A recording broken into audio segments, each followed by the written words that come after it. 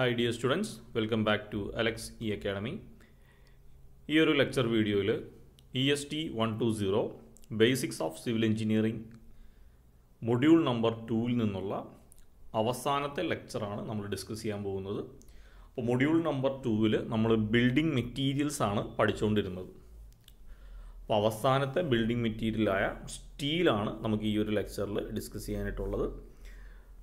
അപ്പോൾ K T യുവിന്റെ രണ്ടായിരത്തി പത്തൊമ്പത് സ്കീം ബേസിക് സിവിലിന്റെ സിലബസിൽ നമുക്ക് പെൻഡിങ് ഉള്ള മൊഡ്യൂൾ ടൂവിലെ ഒരേ ഒരു ടോപ്പിക്ക് സ്റ്റീലാണ്. അപ്പോൾ സ്റ്റീലിൽ നമുക്ക് പഠിക്കേണ്ടത് സ്റ്റീൽ സെക്ഷൻസ് സ്റ്റീൽ റീഇൻഫോഴ്സ്മെന്റ് ഏതൊക്കെയാണ് അതിന്റെ തന്നെ ഡിഫറെന്റ് ടൈപ്സും യൂസസും ആണ് നമുക്ക് കവർ ചെയ്യാനായിട്ടുള്ളത്. ഓക്കെ. അപ്പോൾ സ്റ്റീൽ എന്ന് പറയുന്ന ടോപ്പിക്ക് സ്റ്റാർട്ട് ചെയ്യുന്നതിന് മുമ്പ് ഞാനൊരു ചെറിയൊരു ഒന്ന് രണ്ട് ടിപ്സ് പറഞ്ഞുതരാം. സ്റ്റീൽ എല്ലാ യൂണിവേഴ്സിറ്റി ക്വസ്റ്റ്യൻ പേപ്പറിലും റെഗുലറായിട്ട് ചോദിക്കുന്ന ഒരു ക്വസ്റ്റ്യനാണ് പക്ഷേ മറ്റ് ടോപ്പിക്സ് പോലെ ഇപ്പോൾ നമ്മൾ മറ്റ് ബിൽഡിംഗ് മെറ്റീരിയലായിട്ട് സാൻഡ് ഉണ്ട് ടിമ്പർ ഉണ്ട് സിമെന്റ് ഉണ്ട് ബ്രിക്ക് ഉണ്ട്. അപ്പോൾ ഇതൊക്കെ പോലെ നമുക്ക് ഒരു പരിധി കൂടുതൽ മനസ്സിലാക്കി പഠിക്കാൻ പറ്റുന്നൊരു ടോപ്പിക്കല്ല മനസ്സിലാക്കി പഠിക്കാൻ ഞാൻ ഉദ്ദേശിച്ചിട്ടുണ്ടെങ്കിൽ ഈ സ്റ്റീലിന്റെ അകത്ത് ഒരുപാട് ടൈപ്സ് ഉണ്ട്. അതെല്ലാം ടെക്നിക്കൽ നെയിംസ് ആണ്. എല്ലാം ടെക്നിക്കൽ നെയിംസും നമുക്ക് പെട്ടെന്ന് ഓർത്തിരിക്കാൻ പറ്റുന്നതല്ല അതേപോലെ ഇതിന്റെ അകത്ത് കുറച്ച് ഫിഗർ വരുന്നുണ്ട്. സ്റ്റീലിന്റെ ഐ സെക്ഷൻ ചാനൽ സെക്ഷൻ എന്ന് പറഞ്ഞാൽ നമുക്ക് കുറച്ച് ഫിഗേഴ്സ് വരച്ചു പഠിക്കാനുണ്ട്. ആ ഫിഗറിൽ തന്നെ അതിന്റെ ഡയമെൻഷൻസും ഉണ്ട്. അപ്പോൾ ഇതൊക്കെ സ്റ്റാൻഡേർഡ് വാല്യൂസ് ആണ്. അതൊക്കെ നമ്മൾ ബൈ ഹാർട്ട് ചെയ്ത് പഠിക്കേണ്ട വാല്യൂസും ഹെഡിങ്സും ഫിഗേഴ്സും ഒക്കെയാണ്. പക്ഷെ ഇതൊക്കെ പഠിച്ചു കഴിഞ്ഞാൽ ഇത് ഉറപ്പായിട്ട് യൂണിവേഴ്സിറ്റി എക്സാമിന് ചോദിക്കുമ്പോൾ മറ്റ് ടോപ്പിക്സ് പോലെ നമ്മൾ പാരഗ്രാഫായിട്ട് എഴുതി പോകേണ്ട ആവശ്യമൊന്നുമില്ല. സ്റ്റീൽ വളരെ ക്യാപ്സ്യൂളായിട്ട് പോയിന്റും അതിന്റെ ഹെഡിങ് ഫിഗർ മാത്രമായിട്ട് വരച്ചാലും നിങ്ങൾക്ക് ഫുൾ മാർക്ക് കിട്ടും. അപ്പോൾ ആ ഒരു ഐഡിയ നിങ്ങൾക്ക് മനസ്സിലുണ്ടാവണം. അപ്പോൾ അതുകൊണ്ട് ഞാൻ ഈ ഒരു ലെക്ചർ ഇലാബറേറ്റ് ചെയ്തൊന്നും പോകുന്നില്ല. ഓരോ ടോപ്പിക്കിൽ നിന്നും വളരെ അത്യാവശ്യമായിട്ടുള്ള പോയിന്റ്സ് മാത്രമേ ഞാൻ ഇതിന്റെ അകത്ത് പറഞ്ഞു പോകുന്നുള്ളൂ. ഓക്കെ ഈ ലെക്ചറിൽ നിന്ന് നിങ്ങൾ ഫർദർ ഒന്നും സ്കിപ്പ് ചെയ്യരുത്. ആ രീതിയിൽ വേണം നിങ്ങൾ ലെക്ചർ കേൾക്കാനായിട്ട്. ഓക്കെ അപ്പോൾ നമുക്ക് സ്റ്റാർട്ട് ചെയ്യാം. നമുക്കൊരു ഇൻട്രൊഡക്ഷൻ പോയിന്റ് ഓഫ് വ്യൂ തുടങ്ങാം.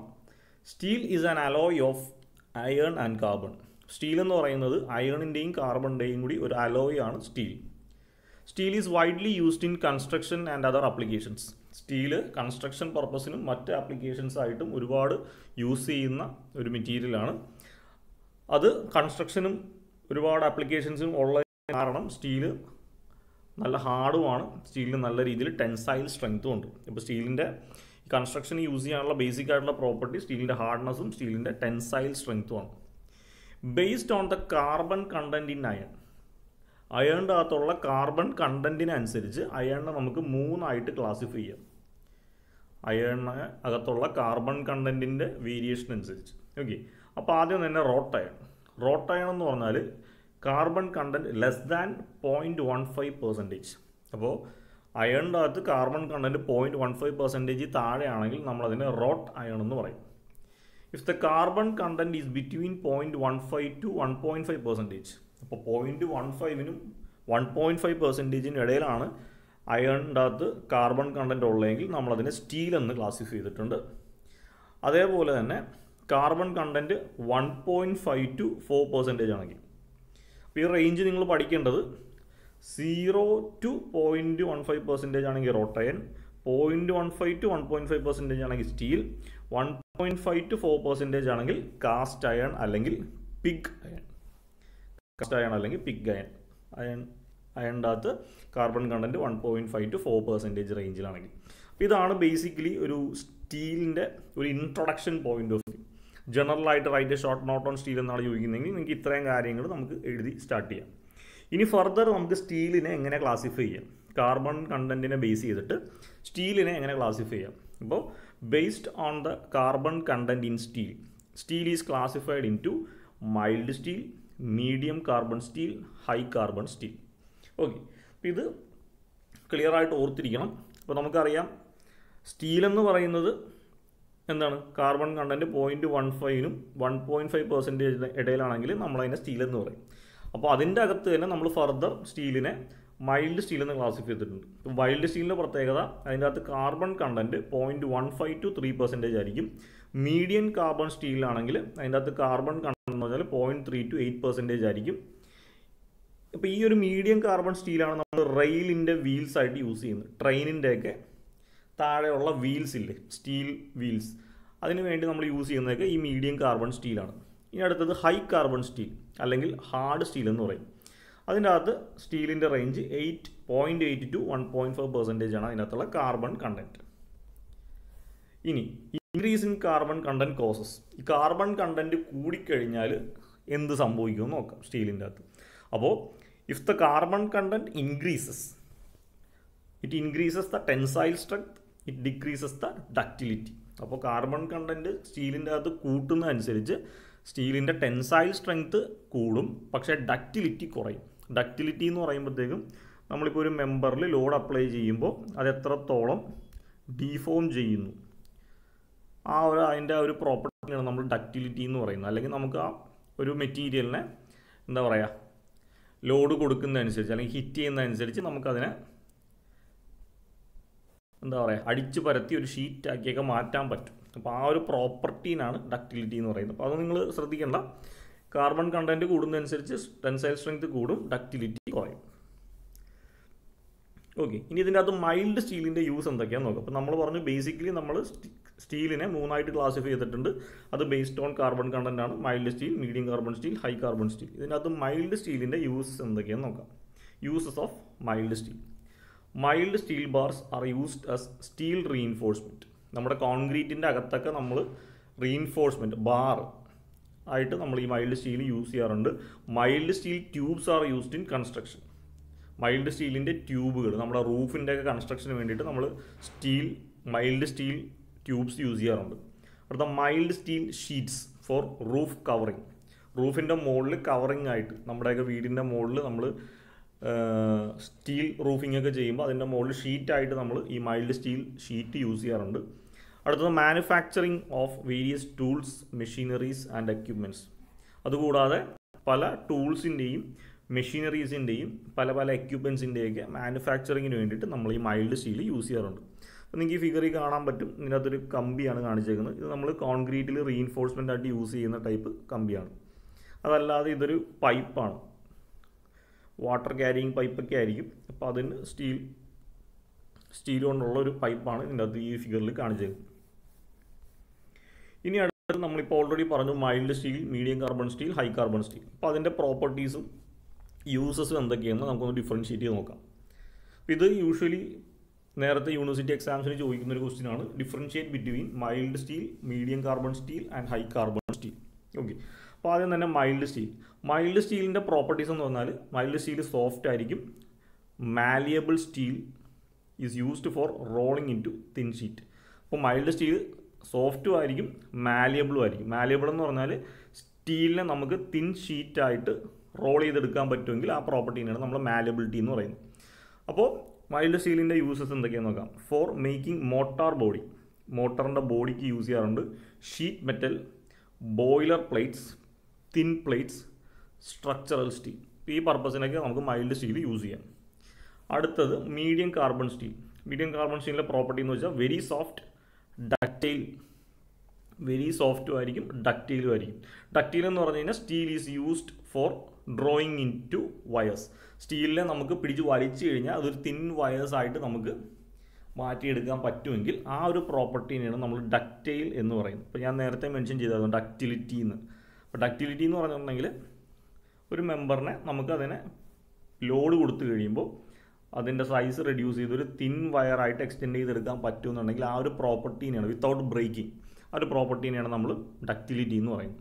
അപ്പോൾ മീഡിയം കാർബൺ സ്റ്റീൽ നമ്മൾ എവിടെയൊക്കെ യൂസ് ചെയ്ത് നോക്കാം? For making springs tyres stamping pressing dies rails റെയിൽവേസിൽ നമ്മുടെ വീലായിട്ട് യൂസ് ചെയ്യാറുണ്ട്.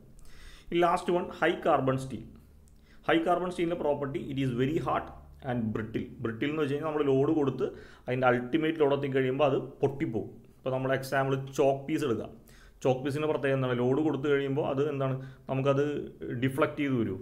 അതായത് ലോഡ് കൊടുത്തു കഴിയുമ്പോൾ എന്താണ്? ഇത് ബെൻഡ് ചെയ്യുമോ ചോക്ക് പീസ് ഇല്ല അത് ഒറ്റയടിക്ക് പൊട്ടിപ്പോകും അപ്പോൾ എന്ന് പറഞ്ഞ പോലെ ഹൈ കാർബൺ സീൽ എന്ന് പറഞ്ഞാൽ ലോഡ് കൊടുത്ത് കൊടുത്ത് കൊടുത്ത് അതിന്റെ മാക്സിമം പോയിന്റിൽ എത്തുമ്പോൾ അത് ബെൻഡ് ചെയ്യത്തില്ല പകരം പൊട്ടിപ്പോകും അപ്പോൾ it is very hard and brittle brittle എന്ന് പറഞ്ഞാൽ സ്റ്റീൽ ഓക്കെ അപ്പോൾ ഈ ഒരു സ്റ്റീൽ നമ്മൾ ടൂൾസ് ഒക്കെ ഉണ്ടാക്കാനായിട്ടാണ് കൂടുതലും യൂസ് ചെയ്യുന്നത്. ടൂൾസ് എന്ന് പറയുമ്പോൾ നമ്മുടെ കത്തി അങ്ങനത്തെ items for making chisels hammers saw smithy tools stone masonry tools axes drills knifes okay അപ്പോൾ നല്ല ഹൈ കാർബൺ സ്റ്റീലാണ് നമ്മൾ മാക്സിമം എല്ലാ ടൂൾസും നമ്മൾ ഡേ ടു ഡേ ലൈഫിൽ യൂസ് ചെയ്യുന്ന ഓൾമോസ്റ്റ് എല്ലാ ടൂൾസും യൂസ് ചെയ്യാനായിട്ട് യൂസ് ചെയ്യുന്നതൊക്കെ ഈ ഹൈ കാർബൺ സ്റ്റീലാണ് അപ്പോൾ ഇതാണ് ഈ ഒരു medium mild steel medium carbon steel high carbon സ്റ്റീലിന്റെ ഒരു പ്രോപ്പർട്ടി ആൻഡ് യൂസ് വൈസ് ഉള്ള ഡിഫറൻസിയേഷൻ ഓക്കെ ഇനി നമുക്ക് മെയിനായിട്ട് സിലബസിലേക്ക് വന്നു കഴിഞ്ഞാൽ സിലബസിലാകെ പറയുന്നത് സ്ട്രക്ചറൽ സ്റ്റീലിനെ പറ്റിയിട്ടാണ്. അപ്പോൾ steel is structurally used in two ways നമുക്ക് കൺസ്ട്രക്ഷൻ പർപ്പസിന് സ്ട്രക്ചറലി നമ്മൾ സ്റ്റീലിനെ രണ്ട് കാര്യങ്ങൾക്കാണ് യൂസ് ചെയ്യുന്നത്. ഒന്ന് റീഇൻഫോഴ്സ്മെന്റ് സ്റ്റീൽ അല്ലെങ്കിൽ റീബാർ എന്ന് വെച്ചാൽ നമ്മൾ കോൺക്രീറ്റിന്റെ അകത്ത് കൊടുക്കുന്ന റീഇൻഫോഴ്സ്മെന്റ് ഇപ്പോൾ ഈ ഫിഗറിൽ കാണാൻ പറ്റും ഒരു വർക്കർ സ്റ്റീൽ കറക്റ്റായിട്ട് ടാഗ് ചെയ്ത് കൊടുക്കുകയാണ് അപ്പോൾ ഇതിന്റെ മുകളിലാണ് നമ്മൾ കോൺക്രീറ്റ് ചെയ്യുന്നത് സ്ലാബ് കോൺക്രീറ്റ് ചെയ്യാൻ പോകുന്നതിന് അടുത്തത് സ്ട്രക്ചറൽ സ്റ്റീൽ അതായത് നമ്മൾ മാർക്കറ്റ് ഫോംസ് ഓഫ് സ്റ്റീൽ എന്നും പറയാറുണ്ട്. അപ്പോൾ അതായത് ഇപ്പോൾ നമ്മുടെ ടെറസിലൊക്കെ നമ്മൾ കൊടുക്കുന്ന റൂഫിംഗ് ഷീറ്റുകൾ റൂഫിംഗ് ഷീറ്റ് കൺസ്ട്രക്ട് ചെയ്യുന്നതിന് മുമ്പ് നമ്മൾ ഇതേപോലെ സ്റ്റീലൊക്കെ വെച്ചിട്ട് നമ്മളൊരു ട്രസ്സൊക്കെ കൺസ്ട്രക്ട് ചെയ്യും. പല പല ജോയിൻസ് ഒക്കെ കൊടുത്ത്. ഇതിന്റെ അകത്തുള്ള ഓരോ ടൈപ്പ് മെമ്പർ ഇതുപോലത്തെ സർക്കുലർ പോസ്റ്റുകൾ ഉണ്ടാവും. ഹൊറിസോണ്ടൽ പോസ്റ്റുകൾ ഉണ്ടാവും. ഇതേപോലത്തെ ആംഗിൾ സെക്ഷൻ ചാനൽ സെക്ഷൻസ് ഒക്കെ ഉണ്ടാവും ആ ഒരു മെമ്പറിൽ അപ്പോൾ അതിനെയാണ് നമ്മൾ സ്ട്രക്ചറൽ സ്റ്റീൽ എന്ന് പറയുന്നത് ഇപ്പോൾ ഈ ഒരു ഫിഗറിൽ കാണാൻ പറ്റും. സ്റ്റീലിന്റെ പല ടൈപ്പിലുള്ള അതായത് ഇപ്പോൾ സർക്കുലർ ട്യൂബാണ് ഇത് സ്ക്വയർ ട്യൂബാണ് ഇതൊരു ഐ സെക്ഷൻ ട്യൂബാണ് ഇതൊരു ചാനൽ സെക്ഷൻ സ്റ്റീലാണ് ഇതൊരു ചാനൽ സെക്ഷൻ ആംഗിൾ സെക്ഷനാണ് അപ്പോൾ ഇങ്ങനത്തെ പല ടൈപ്പിലുള്ള മാർക്കറ്റിൽ അവൈലബിൾ ആയിട്ടുള്ള സ്റ്റീലുണ്ട് അപ്പോൾ അതിനാണ് നമ്മൾ സ്ട്രക്ചറൽ സ്റ്റീൽ എന്ന് പറയുന്നത്. അപ്പോൾ ഇതാണ് നമുക്ക് മെയിനായിട്ട് സിലബസിൽ പറഞ്ഞേക്കുന്നത് റീഇൻഫോഴ്സ്മെന്റ് സ്റ്റീൽ അല്ലെങ്കിൽ റിബാർ സ്ട്രക്ചറൽ സ്റ്റീൽ അല്ലെങ്കിൽ മാർക്കറ്റ് ഫോംസ് ഓഫ് സ്റ്റീൽ ഈ പേരുകളൊക്കെ ഓർത്തിരിക്കുക. അതിൽ ഏതെങ്കിലും ഒരു ഇതിലായിരിക്കും ക്വസ്റ്റ്യൻ പേപ്പറിൽ നിങ്ങൾക്ക് ക്വസ്റ്റ്യൻ ചോദിക്കുന്നത് അപ്പോൾ ആദ്യം തന്നെ നമുക്ക് റീഇൻഫോഴ്സ്മെന്റ് സ്റ്റീൽ നോക്കാം. ഇപ്പോൾ എന്താണ് റീഇൻഫോഴ്സ്മെന്റ് സ്റ്റീൽ എന്തിനാണ് reinforcement steel concrete is a very weak in tension but strong in compression already നമ്മൾ കഴിഞ്ഞ ലെക്ചറിൽ പഠിച്ചാണ് കോൺക്രീറ്റ് നമ്മളൊരു ബിൽഡിംഗ് മെറ്റീരിയലാണ് അല്ലേ? കോൺക്രീറ്റിന്റെ ഒരു പ്രത്യേകത അത് ടെൻഷൻ ഹോൾഡ് ചെയ്യാനുള്ള കപ്പാസിറ്റി വളരെ കുറവാണ്. പക്ഷേ കംപ്രഷൻ എത്ര വേണമെങ്കിലും ഹോൾഡ് ചെയ്യും. അപ്പോൾ ഈ കോൺക്രീറ്റിന്റെ അകത്ത് നമ്മൾ റീഇൻഫോഴ്സ്മെന്റ് ആയിട്ട് സ്റ്റീൽ പ്രൊവൈഡ് ചെയ്തിട്ടുണ്ടെങ്കിൽ എന്ത് സംഭവിക്കും? സ്റ്റീലിന് നല്ല രീതിയിൽ ടെൻഷൻ ഹോൾഡ് ചെയ്യാനുള്ള കപ്പാസിറ്റി ഉണ്ട്. കോൺക്രീറ്റിന് നല്ല രീതിയിൽ കംപ്രഷൻ ഹോൾഡ് ചെയ്യാനുള്ള കപ്പാസിറ്റി ഉണ്ട്. അപ്പോൾ കോൺക്രീറ്റും സ്റ്റീലും കൂടി മിക്സ് ചെയ്തിട്ടുള്ള കൺസ്ട്രക്ഷൻ ചെയ്തിട്ടുണ്ടെങ്കിൽ അവിടെ കംപ്രഷൻ ടെൻഷനും നമുക്ക് ഒരുപോലെ ക്യാരി ചെയ്യാൻ പറ്റും. അപ്പോൾ അതുകൊണ്ടാണ് നമ്മൾ എന്ത് ചെയ്യുന്നത്?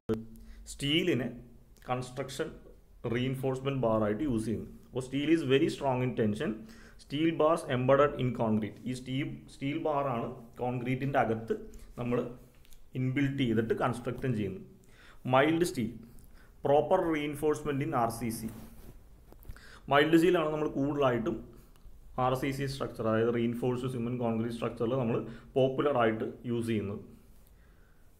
Steel and concrete have almost equal coefficient of thermal expansion ഇത് നമ്മൾ ഒരേ ഇത് എന്തുകൊണ്ട് സ്റ്റീൽ നമ്മൾ കോൺക്രീറ്റിന്റെ അകത്ത് യൂസ് ചെയ്യുന്നതെന്ന് ചോദിച്ചാൽ സ്റ്റീലിനും കോൺക്രീറ്റിനും ഏകദേശം ഒരേപോലത്തെ കോയിഫിഷ്യന്റ് ഓഫ് തെർമൽ എക്സ്പാൻഷൻ ഉള്ളത്. അതേപോലെ രണ്ടും ഡക്റ്റൈൽ മെറ്റീരിയലാണ് gives sufficient warning before failure steel ആണെങ്കിലും കോൺക്രീറ്റ് ആണെങ്കിലും അത് ബ്രേക്ക് ചെയ്യുന്നതിന് മുമ്പ് നമുക്കൊരു വാർണിംഗ് സിഗ്നൽ കാണിക്കും. ഇപ്പോൾ എന്താ പറയുക വാണിംഗ് സിഗ്നൽ എന്ന് ഉദ്ദേശിച്ച കോൺക്രീറ്റ് സ്ട്രക്ചർ പൊട്ടി പൊളിയുന്നതിന് മുമ്പ് അതിന്റെ അകത്ത് ക്രാക്സ് രൂപപ്പെടും. അപ്പോൾ ക്രാക്സ് കാണുമ്പോൾ നമുക്ക് അറിയാൻ പറ്റും സ്ട്രക്ചർ ഫെയിലിയർ ആകാൻ പോകുകയാണ് അപ്പോൾ ആ രീതിയിൽ. Commonly used reinforcement steels are mild steel and H Y S T bars അപ്പോൾ കോമൺ ആയിട്ട് നമ്മൾ യൂസ് ചെയ്യുന്ന റീഇൻഫോഴ്സ്മെന്റ് സ്റ്റീൽ എന്ന് പറഞ്ഞാൽ മൈൽഡ് സ്റ്റീലും ഉണ്ട് എച്ച് വൈ എസ് ടി ബാറും ഉണ്ട്. എന്താണ് H Y S T bar എന്നുള്ളത്? ഇനി അടുത്ത സ്ലൈഡുകളിൽ നമ്മൾ പഠിക്കുന്നുണ്ട്. ഓക്കെ ഇതാണ് നമ്മൾ എന്തുകൊണ്ടാണ് സ്റ്റീൽ കോൺക്രീറ്റിന്റെ അകത്ത് റീഇൻഫോഴ്സ്മെന്റ് ആയിട്ട് യൂസ് ചെയ്യുന്നതെന്ന് പറഞ്ഞു. ഇനി നമ്മൾ പറഞ്ഞു നമുക്ക് റീഇൻഫോഴ്സ്മെന്റ് സ്റ്റീലായിട്ട് രണ്ടെണ്ണം ഉള്ളത്. മൈൽഡ് സ്റ്റീലും ഉണ്ട് എച്ച് വൈ എസ് ടി ബാറും ഉണ്ട്. അപ്പോൾ ആദ്യം നമുക്ക് മൈൽഡ് സ്റ്റീൽ എന്താണെന്ന് നോക്കാം. It is designated as F E two fifty അപ്പോൾ മൈൽഡ് സ്റ്റീലിൽ നമ്മൾ ഡെസിഗ്നേറ്റ് ചെയ്യുന്നത് എഫ് ഇ ടു ഫിഫ്റ്റി എന്നാണ്. ഇതിന്റെ അർത്ഥം ഇതിന്റെ ഈൽഡ് സ്ട്രെങ്ത്താണ് ഈ ടു ഫിഫ്റ്റി വെച്ചിട്ട് നൊട്ടേറ്റ് ചെയ്യുന്നത്. അതായത് yield strength is equal to two fifty newton per M M square അപ്പോൾ എഫ് ഇ ടു ഫിഫ്റ്റി എന്ന് പറഞ്ഞു കഴിഞ്ഞാൽ അതിന്റെ അർത്ഥം അത് മൈൽഡ് സ്റ്റീൽ ആണെന്നും അതിന്റെ yield strength two fifty newton per M M square ആണെന്നുമാണ് അർത്ഥം. ഇനി ഈ മൈൽഡ് സ്റ്റീലിന്റെ ഏതൊക്കെ വേരിയന്റ് നമുക്ക് മാർക്കറ്റിൽ അവൈലബിൾ ആണെന്ന് നോക്കാം. അപ്പോൾ മൈൽഡ് സ്റ്റീലിന്റെ six M M diameter to thirty two M M diameter വരെയുള്ള റീഇൻഫോഴ്സ്ഡ് ബാറുകൾ അവൈലബിൾ ആണ് ഈ ഒരു ഫിഗറിൽ നിങ്ങൾക്ക് കാണാൻ പറ്റും. ഒരു റീഇൻഫോഴ്സ്മെന്റ് ബാറിന്റെ ഷേപ്പാണ് ഈ കാണുന്നത്. അപ്പോൾ ഇതിന്റെ ഡയമീറ്ററാണ് അതിന്റെ സ്പെസിഫിക്കേഷൻ അപ്പോൾ ഏത് ഡയമീറ്ററാണ് അവൈലബിൾ ആയിട്ടുള്ളത്? സിക്സ് എം എം മുതൽ തേർട്ടി ടു എം എം വരെ അവൈലബിൾ ആണ്. അപ്പോൾ അത് സിക്സ് ഉണ്ട് എയ്റ്റ് ഉണ്ട് ടെൻ ഉണ്ട് ട്വൽവ് ഉണ്ട് ഫിഫ്റ്റീൻ സോറി ഫോർട്ടീൻ ഉണ്ട് സിക്സ്റ്റീൻ ഉണ്ട് എയ്റ്റീൻ ഉണ്ട് ട്വന്റി ഉണ്ട് ട്വന്റി ഫൈവ് ഉണ്ട് തേർട്ടി ഉണ്ട്. ആ രീതിയിൽ തേർട്ടി ടു ഉണ്ട്. ആ രീതിയിൽ പല റേഞ്ചിൽ നമുക്ക് ഈ മൈൽഡ് സ്റ്റീലിന്റെ ബാറുകൾ അവൈലബിൾ ആണ്. സർക്കുലാർ ക്രോസ് സെക്ഷൻ അപ്പോൾ യൂഷ്വലി റീഇൻഫോഴ്സ്മെന്റിന്റെ ഷേപ്പ് എന്തായിരിക്കും? സർക്കുലാർ ബാർ ആയിരിക്കും അല്ലേ? നമ്മൾ റീഇൻഫോഴ്സ്മെന്റ് ആയിട്ട് യൂസ് ചെയ്യുന്നത് സർക്കുലാർ ബാർ ആയിരിക്കും. പ്ലെയിൻ സെക്ഷൻ ഇതിന്റെ സർഫസ് പ്ലെയിൻ ആയിരിക്കും. ഈ സർക്കുലാർ ബാർ ഒരു കമ്പി എടുത്തിട്ടുണ്ടെങ്കിൽ അതിന്റെ സർഫസ് ഭയങ്കര പ്ലെയിൻ ആയിരിക്കും. ക്രോസ് സെക്ഷൻ സർക്കുലാർ ആയിരിക്കും. Bond strength is low bond strength എന്ന് ഉദ്ദേശിച്ച് കഴിഞ്ഞാൽ നമ്മളൊരു കോൺക്രീറ്റിന്റെ അകത്ത് ഈ ഒരു മൈൽഡ് സ്റ്റീലിന്റെ റീഇൻഫോഴ്സ്മെന്റ് വെച്ച് കഴിഞ്ഞാൽ ഈ സർഫസ് പ്ലെയിൻ ആയതുകൊണ്ട് പ്ലെയിൻ സർഫസ് ആയതുകൊണ്ട് ഈ കോൺക്രീറ്റും ഇതുമായിട്ടുള്ള ബോണ്ടിങ് കമ്പാരിറ്റീവ്ലി കുറവായിരിക്കും. ഇപ്പം എന്തെങ്കിലും ചെറിയ ഗ്രൂ പോലെ ഇതിന്റെ സർഫസിൽ ഉണ്ടായിരുന്നെങ്കിൽ അത് കുറച്ചുകൂടി ബോണ്ട് ചെയ്തിരിക്കും. ഇപ്പം മൈൽഡ് സ്റ്റീലിന്റെ അകത്ത് അങ്ങനെ ഗ്രൂസ് ഒന്നുമില്ല പ്ലെയിൻ ആണ്. ഇപ്പോൾ ഈ ഒരു ഫിഗറിൽ നിങ്ങൾക്ക് കാണാൻ പറ്റും. ഭയങ്കര സ്മൂത്ത് ആയിട്ടുള്ള സർഫസാണ് അതിന്റെ അകത്ത് വരുന്നത്. അതുകൊണ്ടാണ് നമ്മളതിനെ പറയുന്നത് mild steel circular cross section ആണ് പ്ലെയിൻ സർഫസ് ആണ്. അതുകൊണ്ട് തന്നെ ബോണ്ട് സ്ട്രെങ്ത് കോൺക്രീറ്റും സ്റ്റീലുമായിട്ടുള്ള ബോണ്ട് സ്ട്രെങ്ത് വളരെ ലോ ആണ്. മൈൽഡ് സ്റ്റീലിന്റെ അടുത്തൊരു ഗുണമെന്ന് വെച്ചാൽ മോർ ഡക്റ്റൈലാണ് ഡക്റ്റൈൽ എന്ന് വെച്ചാൽ ഒരുപാട് ലോഡ് കൂടുന്നതനുസരിച്ച് അതെന്ത് ചെയ്യും? സഡനായിട്ട് ബ്രേക്ക് ചെയ്യില്ല ബ്രിട്ടിലല്ല എന്ന് വെച്ചാൽ ലോഡ് കൂടിക്കഴിഞ്ഞ് ഒരു പോയിന്റ് എത്തുമ്പോൾ പെട്ടെന്ന് പൊട്ടിപ്പോവില്ല ഇപ്പോൾ സ്ട്രൈറ്റ് ആയിട്ടുള്ള ബാറാണെങ്കിൽ ലോഡ് കൂടിക്കഴിഞ്ഞതനുസരിച്ച് ബെൻഡ് ചെയ്ത് ബെൻഡ് ചെയ്ത് ബെൻഡ് ചെയ്ത് മാക്സിമം ബെൻഡിങ് കഴിഞ്ഞാൽ അത് ബ്രേക്ക് ചെയ്യുള്ളൂ. അതുകൊണ്ടാണ് അതിന്റെ ഡക്റ്റൈൽ എന്ന് പറയുന്നത്. അപ്പോൾ ഇതിത്രയാണ് നമ്മൾ മൈൽഡ് സ്റ്റീലിൽ പറയാനുള്ളത്. അപ്പോൾ നമ്മൾ പറഞ്ഞുകൊണ്ടിരുന്നത് റീഇൻഫോഴ്സിങ് അല്ലെങ്കിൽ റീഇൻഫോഴ്സ്മെന്റ് സ്റ്റീലാണ് അപ്പോൾ reinforcement steel number one mild സ്റ്റീലാണ് mild സ്റ്റീലിന്റെ ഡെസിഗ്നേഷൻ പ്രോപ്പർട്ടീസും ക്രോസ് സെക്ഷനും അതിന്റെ പ്രോപ്പർട്ടിയും കാര്യങ്ങൾ യൂസൊക്കെ പറഞ്ഞു. ഇനി നമുക്ക് അതിന്റെ യൂസ് ഇത് ഓൾറെഡി നമ്മൾ നേരത്തെ പറഞ്ഞതാണ് അല്ലേ? ഇതിന് മുമ്പത്തെ സ്ലൈഡിൽ പറഞ്ഞതാണ് മൈൽഡ് സ്റ്റീലിന്റെ യൂസുകൾ എന്തൊക്കെയാണ്. അപ്പോൾ ഞാൻ വീണ്ടും എക്സ്പ്ലെയിൻ ചെയ്യുന്നില്ല. ഇത്രയാണ് നമുക്ക് റീഇൻഫോഴ്സ്മെന്റ് ബാറിൽ മൈൽഡ് സ്റ്റീലിനെ പറ്റി പറയാറുള്ളത്. ഇനി ഒരു പോയിന്റ് കൂടി നിങ്ങൾ നോട്ട് ചെയ്തോ. മൈൽഡ് സ്റ്റീൽ ബാറിനെ തന്നെ നമ്മൾ പ്ലെയിൻ സ്റ്റീൽ ബാർ എന്നും പറയാറുണ്ട്. മൈൽഡ് സ്റ്റീൽ ബാറിനെ തന്നെ പ്ലെയിൻ സ്റ്റീൽ ബാറുകളെന്നും പറയാറുണ്ട്. ഓക്കെ ഇനി റീഇൻഫോഴ്സ്മെന്റ് ബാറിൽ രണ്ടാമത്തെ ബാറാണ് എന്ത്? H Y S T bar H Y S T ഇതിനെ തന്നെ നമ്മൾ ടോർ സ്റ്റീൽ എന്നും പറയാറുണ്ട്. T O R tor steel എന്നും വിളിക്കാറുണ്ട്. എച്ച് ഒ എസ് ടി ബാറിനെ തന്നെ നമ്മൾ tor steel T O R steel എന്നും വിളിക്കാറുണ്ട്. ഓക്കെ ഇനി എന്താണ് എച്ച് വൈ എസ് ടിയുടെ full form high yield strength deformed bars അപ്പോൾ റീഇൻഫോഴ്സ്മെന്റ് സ്റ്റീലിലെ രണ്ടാമത്തെ ടൈപ്പാണ് H O S T bar H O S ടിയുടെ ഫുൾ ഫോം എന്ന് വെച്ചാൽ high yield strength deformed bars എന്നാണ് formed by hot rolling or cold twisting of mild steel bar mild steel ബാറിനെ hot rolling മെത്തേഡിലോ cold twisting മെത്തേഡോ ചെയ്തെടുക്കുന്ന ബാറിനെയാണ് H O S T bar എന്ന് പറയുന്നത്. അപ്പോൾ ഈ കോൾഡ് ട്വിസ്റ്റിംഗ് ആയതുകൊണ്ട് തന്നെ ഇപ്പോൾ ഇതിന്റെ സർഫസ് കണ്ടു? ഇതിന്റെ സർഫസിൽ ഇങ്ങനെ ഗ്രൂസ് കാണാൻ പറ്റും. അതായത് ഇപ്പോൾ മൈൽഡ് സ്റ്റീൽ എന്ന് വെച്ചാൽ ഇങ്ങനെ പ്ലെയിൻ ആയിട്ടാണ് അതിന്റെ സർഫസ് ഇരിക്കുന്നത്. എച്ച് ഒ എസ് ടി എന്ന് വെച്ചാൽ ഇതേപോലെ ഒരു ഗ്രൂ ഇങ്ങനെ പോകുന്നുണ്ട് ഇതിന്റെ ചുറ്റും. ഇങ്ങനെ അതിന്റെ സർഫസിൽ കുറച്ച് ഗ്രൂ കാണാൻ പറ്റും. ഈ സർഫസിൽ നിങ്ങൾക്ക് നോക്കി അറിയാൻ പറ്റും. അതിന്റെ മുകളിൽ ചെറിയ ഇങ്ങനെ ഒരു കെർവ് ഇങ്ങനെ വരച്ച് വരച്ച് വരച്ച് പോകുന്നുണ്ട്. അത് ചെറിയൊരു ഗ്രൂവിന്റെ പ്രൊജക്ഷനാണ് ബോണ്ടിങ് കൂടുതൽ കിട്ടാൻ വേണ്ടി. ഇനി അതിനെ ഡെസിഗ്നേറ്റ് ചെയ്യുന്ന എങ്ങനെയാണെന്ന് നോക്കാം. എച്ച് എസ് ഡി ബാർ മെയിനായിട്ട് രണ്ട് ടൈപ്പാണുള്ളത് എഫ് ഇ ഫോർ ഫിഫ്റ്റീൻ ഉണ്ട്. എഫ് ഇ ഫൈവ് ഹൺഡ്രഡും ഉണ്ട്. അപ്പോൾ മൈൽഡ് സ്റ്റീൽ എന്തായിരുന്നു? എഫ് ഇ ടു ഫിഫ്റ്റീൻ ആയിരുന്നു അതിന്റെ ഡെസിഗ്നേഷൻ ഇവിടെ നമുക്ക് എഫ് ഇ ഫോർ ഫിഫ്റ്റീൻ ഉണ്ട്. എഫ് ഇ ഫൈവ് ഹൺഡ്രഡ് ഉണ്ട്. എഫ് ഇ ഫോർ ഫിഫ്റ്റീനെ തന്നെ ടോർ ഫോർട്ടി എന്നും പറയാറുണ്ട്. ടി ഒ ആർ ഫോർട്ടി എന്നും പറയാറുണ്ട്. എഫ് ഇ ഫൈവ് ഹൺഡ്രഡിനെ ടോർ ഫിഫ്റ്റി എന്നും പറയാറുണ്ട്. ഇനി ഈ ഫോർ ഫിഫ്റ്റി എന്ന് ഉദ്ദേശിക്കുന്നത് അതിന്റെ ഈൽഡ് സ്ട്രെങ്ത് ആണ്. Yield strength four hundred and fifty newton per M M ആണ്. ഇവിടെ ഫൈവ് ഹൺഡ്രഡ് എന്ന് യൂസ് ചെയ്യുന്നത് അതിന്റെ ഈൽഡ് സ്ട്രെങ്ത് ആണ് five hundred newton per M M square ആണ് ഓക്കെ അപ്പോൾ എച്ച് വൈ എസ് ഡി ബാറാണ് അതിന്റെ full form high yield strength deformed bars ആണ്. അത് നമ്മൾ എങ്ങനെയാണ് ഉണ്ടാക്കുന്നത്? മൈൽഡ് സ്റ്റീൽ ബാറിനെ തന്നെ ഹോട്ട് റോളിംഗ് മെത്തേഡോ കോൾഡ് മെത്തേഡോ ചെയ്തിട്ടാണ് കിട്ടുന്നത്. H Y S D bar രണ്ടെണ്ണം ഉണ്ട്. എഫ് ഇ ഫോർ ഫിഫ്റ്റീൻ ഉണ്ട് എഫ് ഇ ഫൈവ് ഉണ്ട്. അതിനകത്ത് തന്നെയാണ് ടോർ ഫോർട്ടീന്നും ടോർ ഫിഫ്റ്റീന്നും പറയുന്നത്. ഈ ഫോർ ഫിഫ്റ്റി എന്ന് വെച്ചാൽ അതിന്റെ ഈൽഡ് സ്ട്രെങ്ത്തും ഈ ഫൈവ് ഹൺഡ്രഡ് എന്ന് വെച്ചാൽ രണ്ടാമത്തതിന്റെ ഈൽഡ് സ്ട്രെങ്ത്തും ആണ്. ഇനി ഇതിന്റെ വേരിയേഷൻസ് വേരിയന്റ് എന്തൊക്കെയുണ്ടെന്ന് നോക്കാം. ഇതിന്റെ ഡാമീറ്റർ വേരീസ് ഫ്രം അപ്പോൾ ഈ H O S T bar നമുക്ക് അഞ്ച് എം എം മുതൽ നാൽപ്പത് എം എം സൈസിൽ വരെ അവൈലബിൾ ആണ്. Five M M to forty M M സൈസിൽ അവൈലബിൾ ആണ് H O S T bar lugs ribs or deformation on the surface gives more strength നമ്മൾ ഓൾറെഡി പറഞ്ഞു ഇതിന്റെ സർഫസ് പ്ലെയിൻ ആയിരിക്കില്ല. എന്തായിരിക്കും? ചെറിയ ചെറിയ റിപ്സോ അല്ലെങ്കിൽ ഇതേപോലത്തെ ഗ്രൂസോ എന്തെങ്കിലും ചെറിയ ഡീഫോർമേഷനൊക്കെ ഉണ്ടാവും. ഇതേപോലെ നിങ്ങൾക്ക് ഈ ഫിഗറിൽ കാണാൻ പറ്റുന്ന പോലെ. എന്തിനാണ് കൊടുക്കുന്നതെന്ന് വെച്ച് കഴിഞ്ഞാൽ കുറച്ചുകൂടി സ്ട്രെങ്ത് കിട്ടാൻ വേണ്ടിയിട്ടും അതേപോലെ ഇപ്പോൾ കോൺക്രീറ്റിന്റെ അകത്തല്ലേ നമ്മൾ ഈ ബാർ യൂസ് ചെയ്യുന്നത്? ഇപ്പോൾ കോൺക്രീറ്റിന്റെ അകത്ത് ഇതേപോലത്തെ ഗ്രൂസ് ഉള്ള ബാർ യൂസ് ചെയ്യുമ്പോൾ കോൺക്രീറ്റും സ്റ്റീലും തമ്മിലുള്ള ബോണ്ടിങ് വളരെ കൂടുതലായിരിക്കും. Okay it is less ductile mild steel more ഡക്റ്റീലാണ്. ഇത് ലെസ് ഡക്റ്റീലാണ്. അപ്പോൾ ഇത് ഇത്രയാണ് നമുക്ക് എച്ച് ഒ എസ് ടി ബാറിന്റെ പ്രോപ്പർട്ടീസും ഡെസിഗ്നേഷനൊക്കെ ആയിട്ട് പറയാനുള്ളത്. ഇനി നമുക്ക് അതിന്റെ അഡ്വാന്റേജ് നോക്കാം. The advantages of Tor steel അല്ലെങ്കിൽ H Y S T steel. നമ്മൾ H Y S T steel use ചെയ്യുന്നതുകൊണ്ടുള്ള advantage അല്ലെങ്കിൽ യൂസസ് എന്ന് പറയാം. അഡ്വാന്റേജ് അല്ലെങ്കിൽ യൂസസ് എന്തൊക്കെയാണെന്ന് നോക്കാം. എച്ച് ഒ എസ് ടീനെ തന്നെയാണ് നമ്മൾ ടോർ സ്റ്റീൽ എന്നും പറയുന്നത്. അപ്പോൾ number one these bars have good bonding capabilities അപ്പോൾ ഈ ബാറാണ് നമ്മൾ യൂസ് ചെയ്യുന്നതെങ്കിൽ കോൺക്രീറ്റുമായിട്ട് നല്ല ബോണ്ടിങ് പ്രോപ്പർട്ടി അവൈലബിൾ ആണ്. These can be used for major reinforcement work നമുക്ക് മേജർ കൺസ്ട്രക്ഷൻ വർക്ക്സിന് ഏതിന് വേണമെങ്കിലും നമുക്ക് H S T bars use ചെയ്യാം. It is better structural it has better structure property structural property കൂടുതലാണ് ഏതിന്? ഹെച്ച് മൈൽഡ് സ്റ്റീലിനെ കമ്പയർ ചെയ്യുമ്പോൾ നല്ല ബെറ്റർ പെർഫോമൻസ് ആണ്. Fourth point yield strength of these bars is high ഇപ്പോൾ നമുക്ക് തന്നെ അറിയാം എഫ് ഇ ഫോർ ഹൺഡ്രഡ് ആണെങ്കിൽ സോറി ഫോർ ഫിഫ്റ്റീൻ ആണെങ്കിൽ അതിന് ഈൽഡ് സ്ട്രെങ്ത് നാനൂറ്റി പതിനഞ്ചും F E five hundred steel ആണെങ്കിൽ അതിന്റെ yield strength five hundred newton per M M square ആണ്. അപ്പോൾ ഈൽഡ് സ്ട്രെങ്ത് വളരെ ഹൈ ആണ്. Substantially substantial saving in reinforcement cost when these bars are used അപ്പോൾ ഈ H O S T bars ആണ് use ചെയ്യുന്നതെങ്കിൽ നമുക്ക് റീൻഫോഴ്സ്മെന്റ് ബാറിന്റെ കോസ്റ്റ് കുറയ്ക്കാൻ പറ്റും.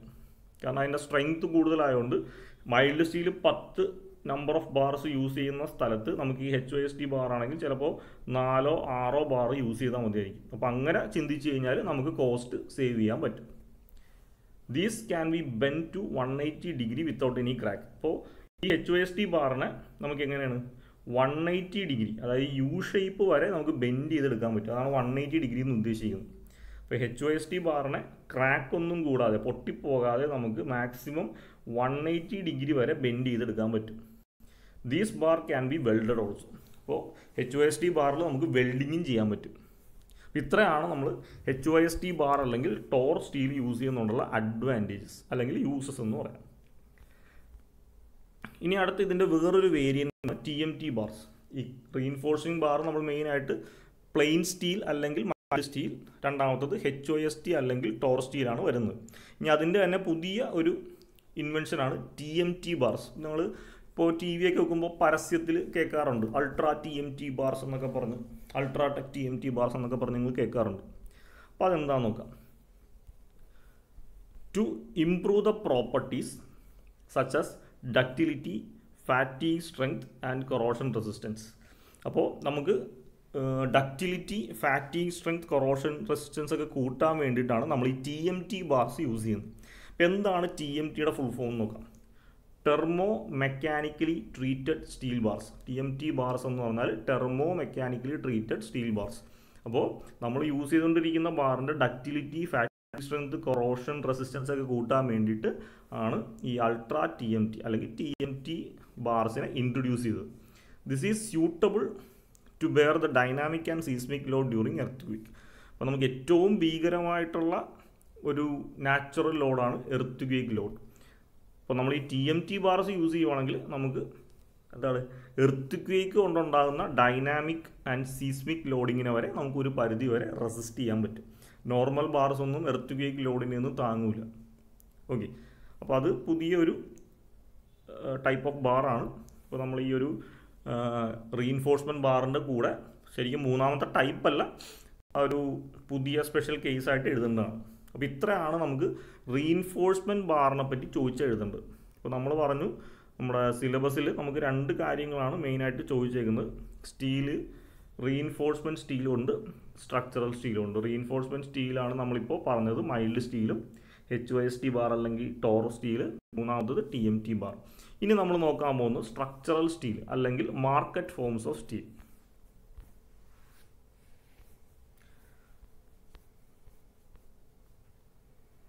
Structural steel.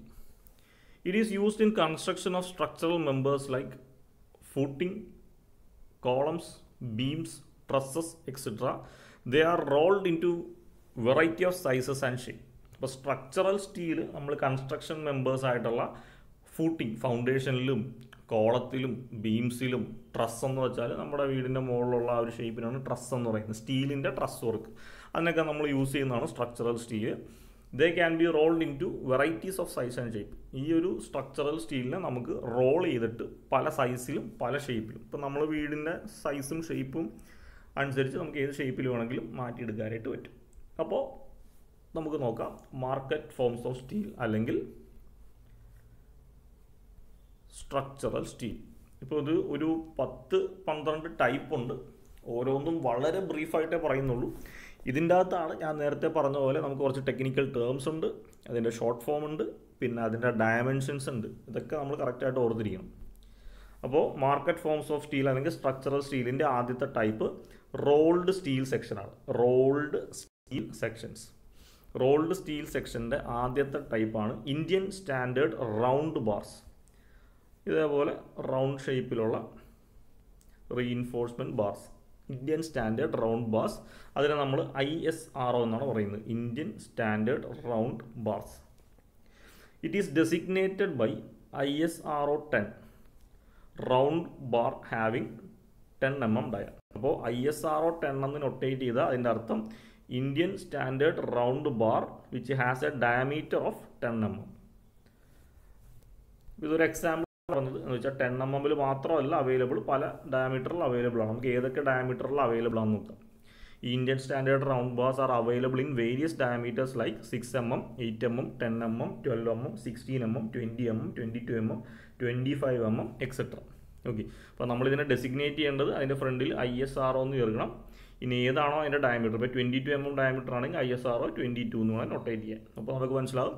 Twenty two M M ഡയമീറ്ററിലുള്ള ഇന്ത്യൻ സ്റ്റാൻഡേർഡ് റൗണ്ട് ബാർസ് ആണ് നമ്മൾ യൂസ് ചെയ്യുന്നത്. ഓക്കെ അപ്പോൾ അതാണ് ഈ ഒരു റോൾഡ് സ്റ്റീൽ സെക്ഷനിലെ ഫസ്റ്റ് വൺ ഇനി അതിന്റെ രണ്ടാമത്തത് ഇന്ത്യൻ സ്റ്റാൻഡേർഡ് സ്ക്വയർ ബാർസ് അപ്പോൾ നേരത്തെ നമ്മൾ സർക്കുലർ ആണ് പറഞ്ഞത് സോറി റൗണ്ട് ആണ് പറഞ്ഞത്. അതിന് പകരം സ്ക്വയർ ആണെങ്കിൽ. അപ്പോൾ അതിനെ നമ്മൾ ഐ എസ് എസ് ക്യൂ എന്നാണ് നൊട്ടേറ്റ് ചെയ്യുന്നത്. I S S Q Indian standard square സ്ക്വയറിന്റെയാണ് നമ്മൾ എസ് ക്യൂ എന്ന് നൊട്ടേറ്റ് ചെയ്യുന്നത്. അപ്പോൾ it is designated by I S S Q അപ്പോൾ ഐ എസ് എസ് ക്യൂ എന്ന് പറഞ്ഞാൽ Indian standard square bar of ten M M diameter having size ten M M അപ്പോൾ നമുക്കറിയാൻ പറ്റും ഈ ഫിഗറിൽ കാണുന്ന പോലെ അതിന്റെ ക്രോസ് സെക്ഷൻ എന്തായിരിക്കും? ഇതേപോലെ സ്ക്വയർ ഷേപ്പ് ആയിരിക്കും. ഇതിങ്ങനെ ലെങ്ത്ത് അവൈലബിൾ ആയിരിക്കും. നമ്മൾ നമ്മുടെ മേൽക്കൂരയൊക്കെ കൺസ്ട്രക്ട് ചെയ്യുമ്പോഴത്തേക്കും തൂണായിട്ടൊക്കെ കൊടുക്കത്തില്ല? സ്റ്റീലിന്റെ തൂണായിട്ടൊക്കെ കൊടുക്കുന്ന ഇതേപോലത്തെ സ്ക്വയറോ അല്ലെങ്കിൽ നേരത്തെ പറഞ്ഞ പോലത്തെ റൗണ്ടഡ് ബാർസോ ഒക്കെ ആയിരിക്കും. നമ്മുടെ പർപ്പസ് അനുസരിച്ച്. അതേപോലെ നമ്മുടെ ഫ്രണ്ടിലുള്ള ഗേറ്റ് ഒക്കെ കൺസ്ട്രക്ട് ചെയ്യുമ്പോൾ നമ്മൾ ഇതൊക്കെ യൂസ് ചെയ്യാറുണ്ട്. ഇനി ഇതിന്റെ യൂസസ് എന്തൊക്കെയാണെന്ന് നോക്കാം. ഗ്രിൽസ് ഓഫ് വിൻഡോ വിൻഡോയുടെ ഗ്രില്ല് വിൻഡോയുടെ കമ്പി. വിൻഡോയുടെ കമ്പി നിങ്ങൾ ശ്രദ്ധിച്ചറിയാം. ചില കമ്പി റൗണ്ടഡ് ഷേപ്പ് ആയിരിക്കും. ചില കമ്പി ഇതുപോലത്തെ സ്ക്വയർ ഷേപ്പ് ആയിരിക്കും. വളരെ ചെറുതായിട്ടുള്ളതായിരിക്കും. ഇനി അടുത്ത് hand rail for staircase stair കേസിന്റെ ഇപ്പോൾ സ്റ്റെയർ കേസിന്റെ വ്യൂ നിങ്ങൾ നോക്കിക്കഴിഞ്ഞാൽ നിങ്ങൾ സ്ലാൻഡിങ് ആയിട്ടിരിക്കും അല്ലേ? സ്റ്റെയർ കേസിന് ഇങ്ങനെ ഇങ്ങനെ ഒരേ കമ്പി ഇട്ടിട്ടില്ലേ? അത് ഈ പറഞ്ഞോട്ട് ഒന്നെങ്കിൽ ഇന്ത്യൻ സ്റ്റാൻഡേർഡ് സ്ക്വയർ ബാസ് ആയിരിക്കും. അല്ലെങ്കിൽ ഇന്ത്യൻ സ്റ്റാൻഡേർഡ് റൗണ്ട് ബാസ് ആയിരിക്കും. ഇനി ഇതിന്റെ മുകളിൽ നമ്മൾ യൂഷ്വലി ഇതുപോലത്തെ റൗണ്ടഡ് ബാർ ആയിരിക്കും യൂസ് ചെയ്യുന്നത്. ചിലപ്പോൾ താഴത്തോട്ട് ഇങ്ങനെയുള്ള സ്ക്വയർ ആയിരിക്കും. നമ്മൾ സ്റ്റെയർ കേസിന്റെ ഹാൻഡ് റെയിലാണ് പറയുന്നത്. അപ്പോൾ നമ്മുടെ കോളേജിലാണെങ്കിൽ നിങ്ങൾ ശ്രദ്ധിച്ചറിയാം. നിങ്ങൾ നടന്നു കയറുമ്പോൾ സ്റ്റീലിന്റെ ഇതേപോലത്തെ റൗണ്ട് ബാറാണ് മുകളിലെ പിടി. അതിനെ സപ്പോർട്ട് ചെയ്യുന്ന സർക്കുലർ ബാറാണ് താഴെ കാണുന്നത്. അപ്പോൾ ആ രീതിയിൽ ഇതൊക്കെയാണ് നമ്മൾ യൂസ് ചെയ്യുന്നത്. അടുത്ത ഗേറ്റ്. നമ്മുടെ വീടിന്റെയൊക്കെ ഗേറ്റിന് വേണ്ടിയിട്ട് നമ്മൾ യൂസ് ചെയ്യാറുണ്ട് അപ്പോൾ ഇതിത്രയാണ് ആദ്യത്തെ ടൈപ്പ്. റോൾഡ് സ്റ്റീൽ ബാറിൽ അതിന്റെ അകത്ത് തന്നെ ഇന്ത്യൻ സ്റ്റാൻഡേർഡ് റൗണ്ട് ബാർസും ഉണ്ട്. ഇന്ത്യൻ സ്റ്റാൻഡേർഡ് സ്ക്വയർ ബാർസും ഉണ്ട്. ഇനി അടുത്ത രണ്ടാമത്തെ type. Rolled steel plate section. Rolled steel plate section. Plate എന്ന് പറയുമ്പോൾ എന്തായിരിക്കും? ഒരു പ്ലേറ്റ് ഷേപ്പിലായിരിക്കും നമുക്ക് അവൈലബിൾ ആയിട്ട് കിട്ടുന്നത്. അപ്പോൾ അതിന്റെ ഷോർട്ട് ഫോമിൽ നമ്മൾ ഐ എസ് പി എൽ എന്ന് പറയും. ഐ എസ് പി എൽ അപ്പോൾ അതിന്റെ ഡെസിഗ്നേഷൻ വരുന്നത് ഇങ്ങനെയാണ്. I S P L five hundred by five ഇതൊരു എക്സാമ്പിളാണ് അപ്പോൾ ഇതിൽ ഫൈവ് ഹൺഡ്രഡ് നൊട്ടേറ്റ് ചെയ്യുന്നത് അതിന്റെ വിട്ത്ത് ഫൈവ് ഹൺഡ്രഡ് ആണ്. ഫൈവ് നൊട്ടേറ്റ് ചെയ്യുന്നത് അതിന്റെ തിക്നെസ് ഫൈവ് ആണ്.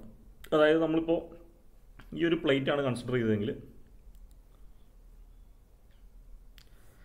ഇതിന്റെ തിക്നെസ് ഈ കാണുന്നതാണ് അതിന്റെ തിക്നെസ് അത് ഫൈവ് എം എം ആയിരിക്കും. അതിന്റെ വിട്ത്ത് വിട്ടും ലെങ്ത്തും ആ അത് ഫൈവ് ഹൺഡ്രഡ് ആയിരിക്കും. അപ്പോൾ ആ രീതിയിൽ അതിന്റെ ഡെസിഗ്നേഷൻ വരുന്നത് ഐ എസ് പി എൽ ആണ്. Rolled steel plate section five hundred by five എന്നായിരിക്കും. ഇത് എവിടെയൊക്കെയാണ് യൂസ് ചെയ്യുന്നത് നോക്കാം. ഇതിന്റെ യൂസസ് എന്ന് വെച്ചാൽ വാട്ടർ ടാങ്ക് വാട്ടർ ടാങ്ക് ഇപ്പോൾ നമുക്ക് റെക്ടാങ്കുലർ വാട്ടർ ടാങ്ക് ഉണ്ട് സർക്കുലർ വാട്ടർ ടാങ്ക് ഉണ്ട്. അപ്പോൾ അതിന്റെ സർഫസ് സ്റ്റീൽ വാട്ടർ ടാങ്ക് ആണെങ്കിൽ നമ്മൾ ഈ ഒരു പ്ലേറ്റ് കണക്ട് ചെയ്ത് കണക്ട് ചെയ്തിട്ടായിരിക്കും ഉണ്ടാക്കുന്നത്. അതേപോലെ സ്റ്റോറേജ് സ്ട്രക്ചർ സിലോസും ബങ്കേഴ്സും അപ്പോൾ നമ്മൾ പറഞ്ഞു സിമെന്റൊക്കെ സ്റ്റോർ ചെയ്യുന്ന വലിയ സ്ട്രക്ചറിനാണ് നമ്മൾ സിലോസ് എന്ന് പറയുന്നത്. അപ്പോൾ അതുപോലത്തെ സ്റ്റോറേജിന് സ്റ്റീൽ സ്റ്റോറേജിന് നമുക്ക് ഈ ഒരു മെറ്റീരിയൽ വെച്ചിട്ട് കൺസ്ട്രക്ട് ചെയ്യാം. Built up beams floor panel base plate of foundation ഈ ഇതൊക്കെയാണ് നമ്മൾ ഈ ഒരു റോൾഡ് സ്റ്റീൽ പ്ലേറ്റ് സെക്ഷൻ വെച്ചിട്ട് യൂസ് ചെയ്യുന്നത് ഇപ്പോൾ നിങ്ങൾക്ക് ഒരു എക്സാമ്പിൾ കാണാം. ഇതേപോലത്തെ ഷീറ്റുകളായിരിക്കും ഇതേപോലത്തെ പ്ലെയിൻ ഷീറ്റുകളായിരിക്കും പ്ലെയിൻ ഷീറ്റുകളായിരിക്കും യൂസ് ചെയ്യുന്നത്. ഈ ഒരു വാട്ടർ ടാങ്ക് നോക്കിയാൽ നിങ്ങൾക്ക് കാണാൻ പറ്റും. ഓരോ റെക്റ്റാങ്കിൾ ഷേപ്പാണ് അല്ലേ? ഇതാണ് നമ്മൾ ഈ റൗണ്ടഡ് റൗണ്ടഡ് ഷേപ്പിൽ കണക്ട് ചെയ്തിട്ട് നടുക്ക് മുഴുവൻ നമ്മൾ വെൽഡ് ചെയ്ത് അതിന്റെ ലീക്ക് പ്രൂഫ് ആക്കി എടുക്കും. അപ്പോൾ ഇതേപോലത്തെ ചെറിയ ചെറിയ പീസാണ് ശരിക്കും പറഞ്ഞാൽ നമ്മൾ കണക്ട് ചെയ്ത് കണക്ട് ചെയ്ത് കണക്ട് ചെയ്ത് എടുക്കുന്നത്. ഇത് കണക്ട് ചെയ്തിട്ട് നമ്മൾ നടുക്ക് വാട്ടർ പ്രൂഫ് ചെയ്ത് ലീക്ക് പ്രൂഫൊക്കെ ചെയ്ത് വെൽഡ് ചെയ്ത് കറക്റ്റാക്കി എടുക്കും. അപ്പോൾ ഇതേപോലെ നമുക്ക് ടാങ്കും സിലോസും ഒക്കെ യൂസ് ചെയ്യാം. അതേപോലെ നമുക്ക് അതിന്റെ ഫൗണ്ടേഷൻ നമ്മൾ ഏറ്റവും താഴെ നമ്മുടെ ഫൗണ്ടേഷന്റെ താഴെ ബേസ് പ്ലേറ്റ് ബേസ് പ്ലേറ്റ് എന്ന ചെറിയൊരു പ്ലേറ്റ് അതിന്റെ മുകളിലായിരിക്കും പിന്നെ കോളം വന്ന് നിൽക്കുന്നത്. ആ രീതി. അപ്പോൾ നമ്മളതിൽ കാണിക്കുന്ന അതിന്റെ വിട്ത്ത് അതിന്റെ തിക്നെസ് കാണിക്കുന്നൊരു ചെറിയൊരു ഫിഗറാണ് ഇതൊന്നും നിങ്ങൾ പഠിക്കണമെന്നില്ല ജസ്റ്റ് കാണിച്ചെന്നേ ഉള്ളൂ. ഇനി അടുത്ത മൂന്നാമത്തെ ടൈപ്പ് മൂന്നാമത്തെ ടൈപ്പ് എന്ന് വെച്ചാൽ Indian standard sheet section Indian standard see sheets section അപ്പോൾ പ്ലേറ്റും ഷീറ്റും തമ്മിലുള്ള വ്യത്യാസം എന്താണെന്ന് വെച്ചാൽ അവിടെ നമ്മൾ ഡെസിഗ്നേറ്റ് ചെയ്തത് അതിന്റെ വിട്ടും തിക്നെസ്സും മാത്രമാണ്. ഷീറ്റ് എന്ന് പറയുമ്പോൾ അതിനകത്ത് ലെങ്ത് ഉണ്ടാവും അതിനകത്ത് വിത്ത് ഉണ്ടാവും അതിന്റെ തിക്നെസ്സും ഉണ്ടാവും. അപ്പോൾ plates having thickness less than five M M അപ്പോൾ ഇന്ത്യൻ സ്റ്റാൻഡേർഡ് ഷീറ്റ് എന്ന് പറഞ്ഞാൽ ഷീറ്റ് നമുക്കറിയാം അല്ലേ വളരെ തിക്നെസ് കുറഞ്ഞതിനാണ് നമ്മൾ ഷീറ്റ് എന്ന് പറയുന്നത്. അപ്പോൾ അഞ്ചെം എം താഴെ തിക്നെസ് ഉള്ള എല്ലാ പ്ലേറ്റുകളെയും നമ്മൾ ഷീറ്റ് സെക്ഷൻ എന്നാണ് പറയുന്നത്. It is designated by I S S H Indian standard sheet section ആ രീതിയിൽ ഐ എസ് എസ് എച്ച് ഇപ്പോൾ ആയിരത്തി എണ്ണൂറ് ബൈ അറുന്നൂറ് ബൈ നാല് എന്നാണ് ഒരു എക്സാമ്പിളായിട്ട് തന്നേക്കുന്നത്. ഇങ്ങനെ വന്നിട്ടുണ്ടെങ്കിൽ അതിന്റെ അർത്ഥം ഇന്ത്യൻ സ്റ്റാൻഡേർഡ് സീ ഷീറ്റ് സെക്ഷനാണ് അതിന്റെ ലെങ്ത്ത് തൗസൻഡ് എയ്റ്റ് ഹൺഡ്രഡ് ആണ്. അതിന്റെ വിത്ത് സിക്സ് ഹൺഡ്രഡ് ആണ്. അതിന്റെ thickness four four M M ആണ്. അപ്പോൾ നിങ്ങൾ നോക്കിയാൽ കാണാം ഇതേപോലത്തെ ഷീറ്റ് ഇത് എവിടെയാണ് യൂസ് ചെയ്യുന്നത് വെച്ചാൽ ഇപ്പോൾ നമ്മൾ എന്താ പറയുക എന്തെങ്കിലുമൊക്കെ ആ ഒരു കോൺക്രീറ്റ് ഒക്കെ നമ്മൾ കുഴക്കാൻ വേണ്ടി യൂസ് ചെയ്യുന്ന ഒരു ഷീറ്റാണ് ഇപ്പോൾ കോൺക്രീറ്റ് നമ്മൾ തറ വെച്ചിട്ട് കാസ്റ്റ് ചെയ്യാൻ പറ്റില്ലല്ലോ. അപ്പോൾ നമ്മൾ ഇതുപോലത്തെ ഒരു സ്റ്റീൽ ഷീറ്റ് ഇട്ടിട്ട് അതിന്റെ മുകളിലാണ് കല്ലും മണ്ണും വെള്ളമൊക്കെ ഇട്ട് മിക്സ് ചെയ്ത് മിക്സ് ചെയ്തൊക്കെ എടുക്കുന്നത്.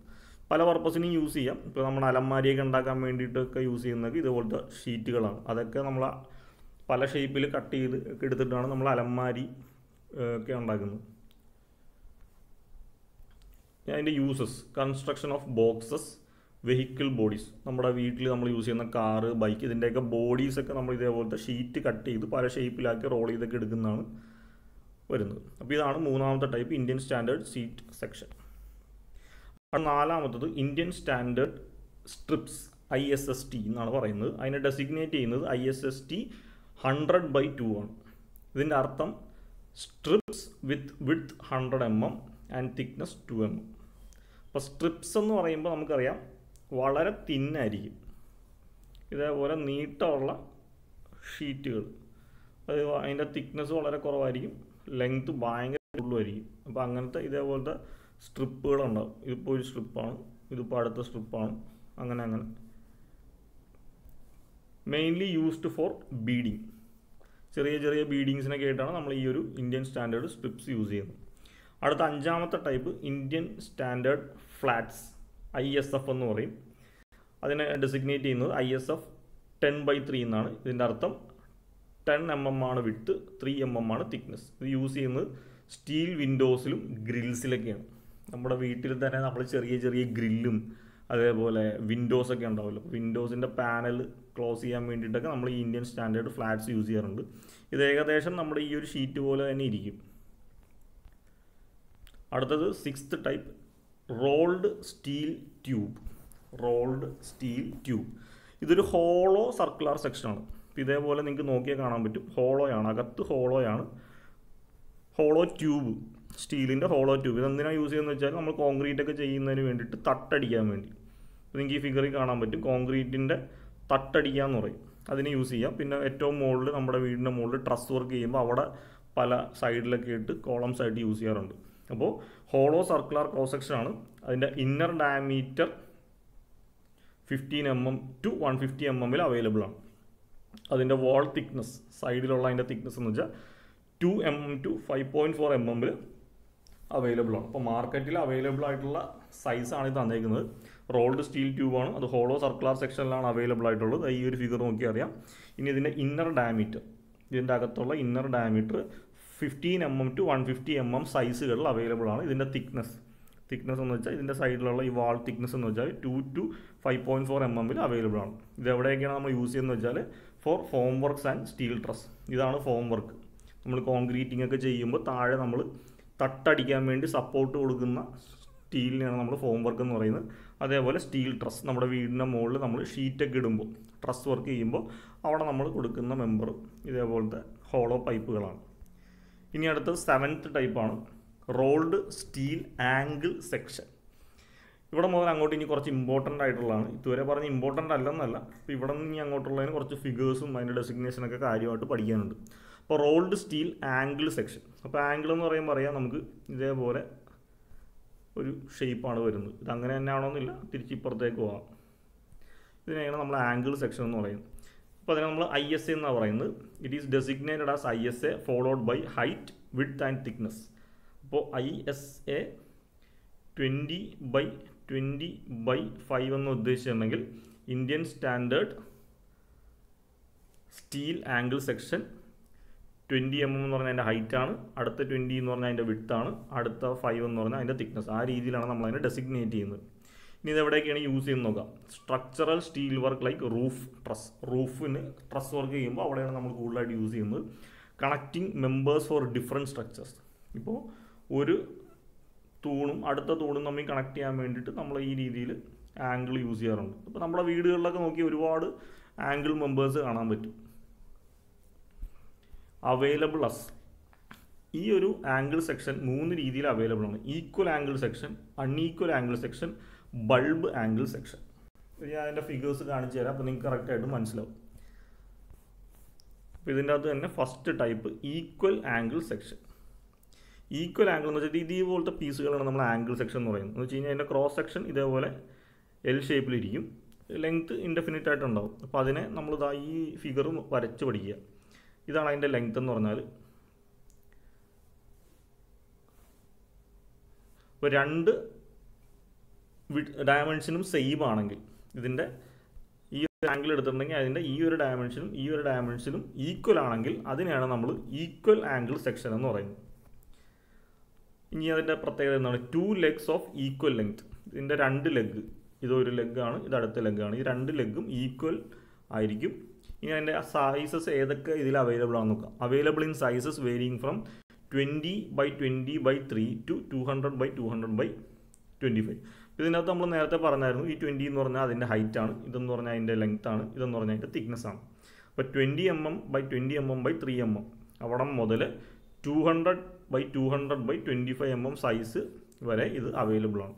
അപ്പോൾ നിങ്ങൾ ഇത് നോക്കിക്കഴിഞ്ഞാൽ ഈ ഫിഗർ നോക്കി അറിയാം ഏറ്റവും അറ്റത്ത് കാണുന്നത് ഭയങ്കര വലുതാണ് ഏറ്റവും ചെറുത് ഇതാണ്. അപ്പോൾ ഈ ഒരു സൈസ് റേഞ്ചാണ് ആ പറഞ്ഞേക്കുന്നത്. ഇനി അടുത്തത് അൺഈക്വൽ ആംഗിൾ അൺഈക്വൽ ആംഗിൾ എന്ന് പറയുമ്പോൾ തന്നെ നിങ്ങൾക്ക് മനസ്സിലാവും. ഇതിന്റെ രണ്ട് ലെഗ് ഇതിന്റെ ലെങ്ത് എൽ ഇതിന്റെ ലെഗിന്റെ ലെങ്ത് എൽ ടു രണ്ടും അൺഈക്വൽ ലെങ്ത്തിലാണെങ്കിൽ അതിനാണ് നമ്മൾ അൺഈക്വൽ എന്ന് പറയുന്നത്. ഇപ്പോൾ ഈ ഒരു ഫിഗർ നോക്കിയാലും അറിയാം. ഇവിടെ ഈ ഒരു ലെഗിന്റെ ലെങ്ത് കുറവാണ് ഇതിന്റെ ലെഗിന്റെ ലെങ്ത് കൂടുതലാണ്. Two legs are unequal in length രണ്ട് ലെഗ്സും അൺഈക്വൽ ആയിരിക്കും. ഇനി അതിന്റെ അവൈലബിൾ ഏതൊക്കെ സൈസിലാണ് അവൈലബിൾ എന്ന് നോക്കാം. Starting from thirty m m by twenty m m by three m m അപ്പോൾ ഏറ്റവും ചെറിയ അൺഈക്വൽ ആംഗിൾ സെക്ഷൻ നമുക്ക് തേർട്ടി ബൈ ട്വന്റി ബൈ ത്രീയും ടു എവിടം വരെ അവൈലബിൾ ആണ്? Two hundred to one fifty by eighteen അതുവരെയുള്ള സൈസിൽ നമുക്ക് അവൈലബിൾ ആണ്. ഇനി നമ്മൾ ഈ ആംഗിൾ സെക്ഷന്റെ മൂന്നാമത്തത് ബൾബ് ആംഗിൾ സെക്ഷൻ ബൾബ് എന്ന് പറയുമ്പോൾ ഇത്രയേ ഉള്ളൂ പ്രത്യേകത. അതിന്റെ ഏതെങ്കിലും ഒരു ലെഗിന് ചെറിയൊരു പ്രൊജക്ഷൻ ഉണ്ടാവും. ബൾബ് പോലത്തെ ഒരു പ്രൊജക്ഷൻ ഉണ്ടാവും. അപ്പോൾ അതിന്റെ ഫിഗർ നിങ്ങൾക്ക് ഇവിടെ കാണാൻ പറ്റും. ഇതാ ഈ രീതിയിൽ വന്നിട്ട് ഒരു പ്രൊജക്ഷൻ ഉണ്ടാവും. ഈ രീതിയിൽ ഒരു പ്രൊജക്ഷൻ ആയിരിക്കും ഉണ്ടാകുന്നത് അപ്പോൾ അതിനെയാണ് നമ്മൾ ബൾബ് ആംഗിൾ സെക്ഷൻ എന്ന് പറയുന്നത്. അപ്പോൾ അതിന്റെ ഡെസിഗ്നേഷൻ ഐ എസ് ബി എന്ന് പറയുന്നത്. കൺസിസ്റ്റ് ഓഫ് ഒരു വെബ് ഉണ്ട് ഒരു ഫ്ലാഞ്ച് ഉണ്ട് ഒരു ബൾബ് പ്രൊജക്ഷൻ ഉണ്ട്. എന്താണെന്ന് നോക്കുക ഇതൊക്കെ. ഇതാണ് നമ്മുടെ വെബ് എന്ന് വെച്ചാൽ ഈ ഒരു പോർഷനാണ് വെബ് എന്ന് പറയുന്നത്. ഈ ഒരു പോർഷനാണ് ഫ്ലാഞ്ച് എന്ന് പറയുന്നത്. ഈ ഒരു പോർഷനാണ് അതിന്റെ ബൾബ് എന്ന് പറയുന്നത്. വെബിന്റെ എൻഡിലുള്ള അപ്പോൾ അതിന്റെ ഈ ഒരു ബൾബ് ആംഗിൾ സെക്ഷന്റെ പാർട്സ് ആണ്. ഒരു വെബ് ഉണ്ടാവും ഒരു ഫ്ലാഞ്ച് ഉണ്ടാവും ഒരു ബൾബിന്റെ പ്രൊജക്ഷനും ഉണ്ടാവും. അപ്പോൾ ഇത്രയാണ് ആംഗിൾ സെക്ഷനിൽ പഠിക്കാനുള്ളത്. ഇനി അടുത്തത് eighth one rolled steel T section നമ്മൾ സാധാരണ ടി എന്ന് എഴുതൂലേ?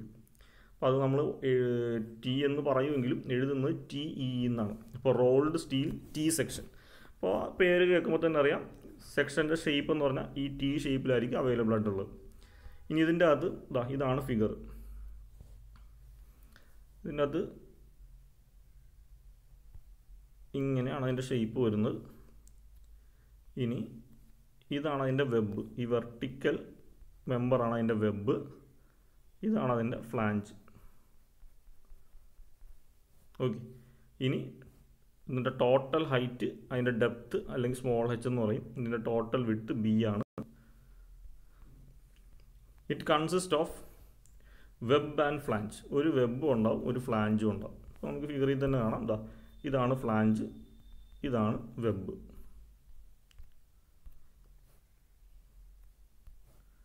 ഒരു ഫ്ലാഞ്ച് ഒരു വെബും ഉണ്ട്.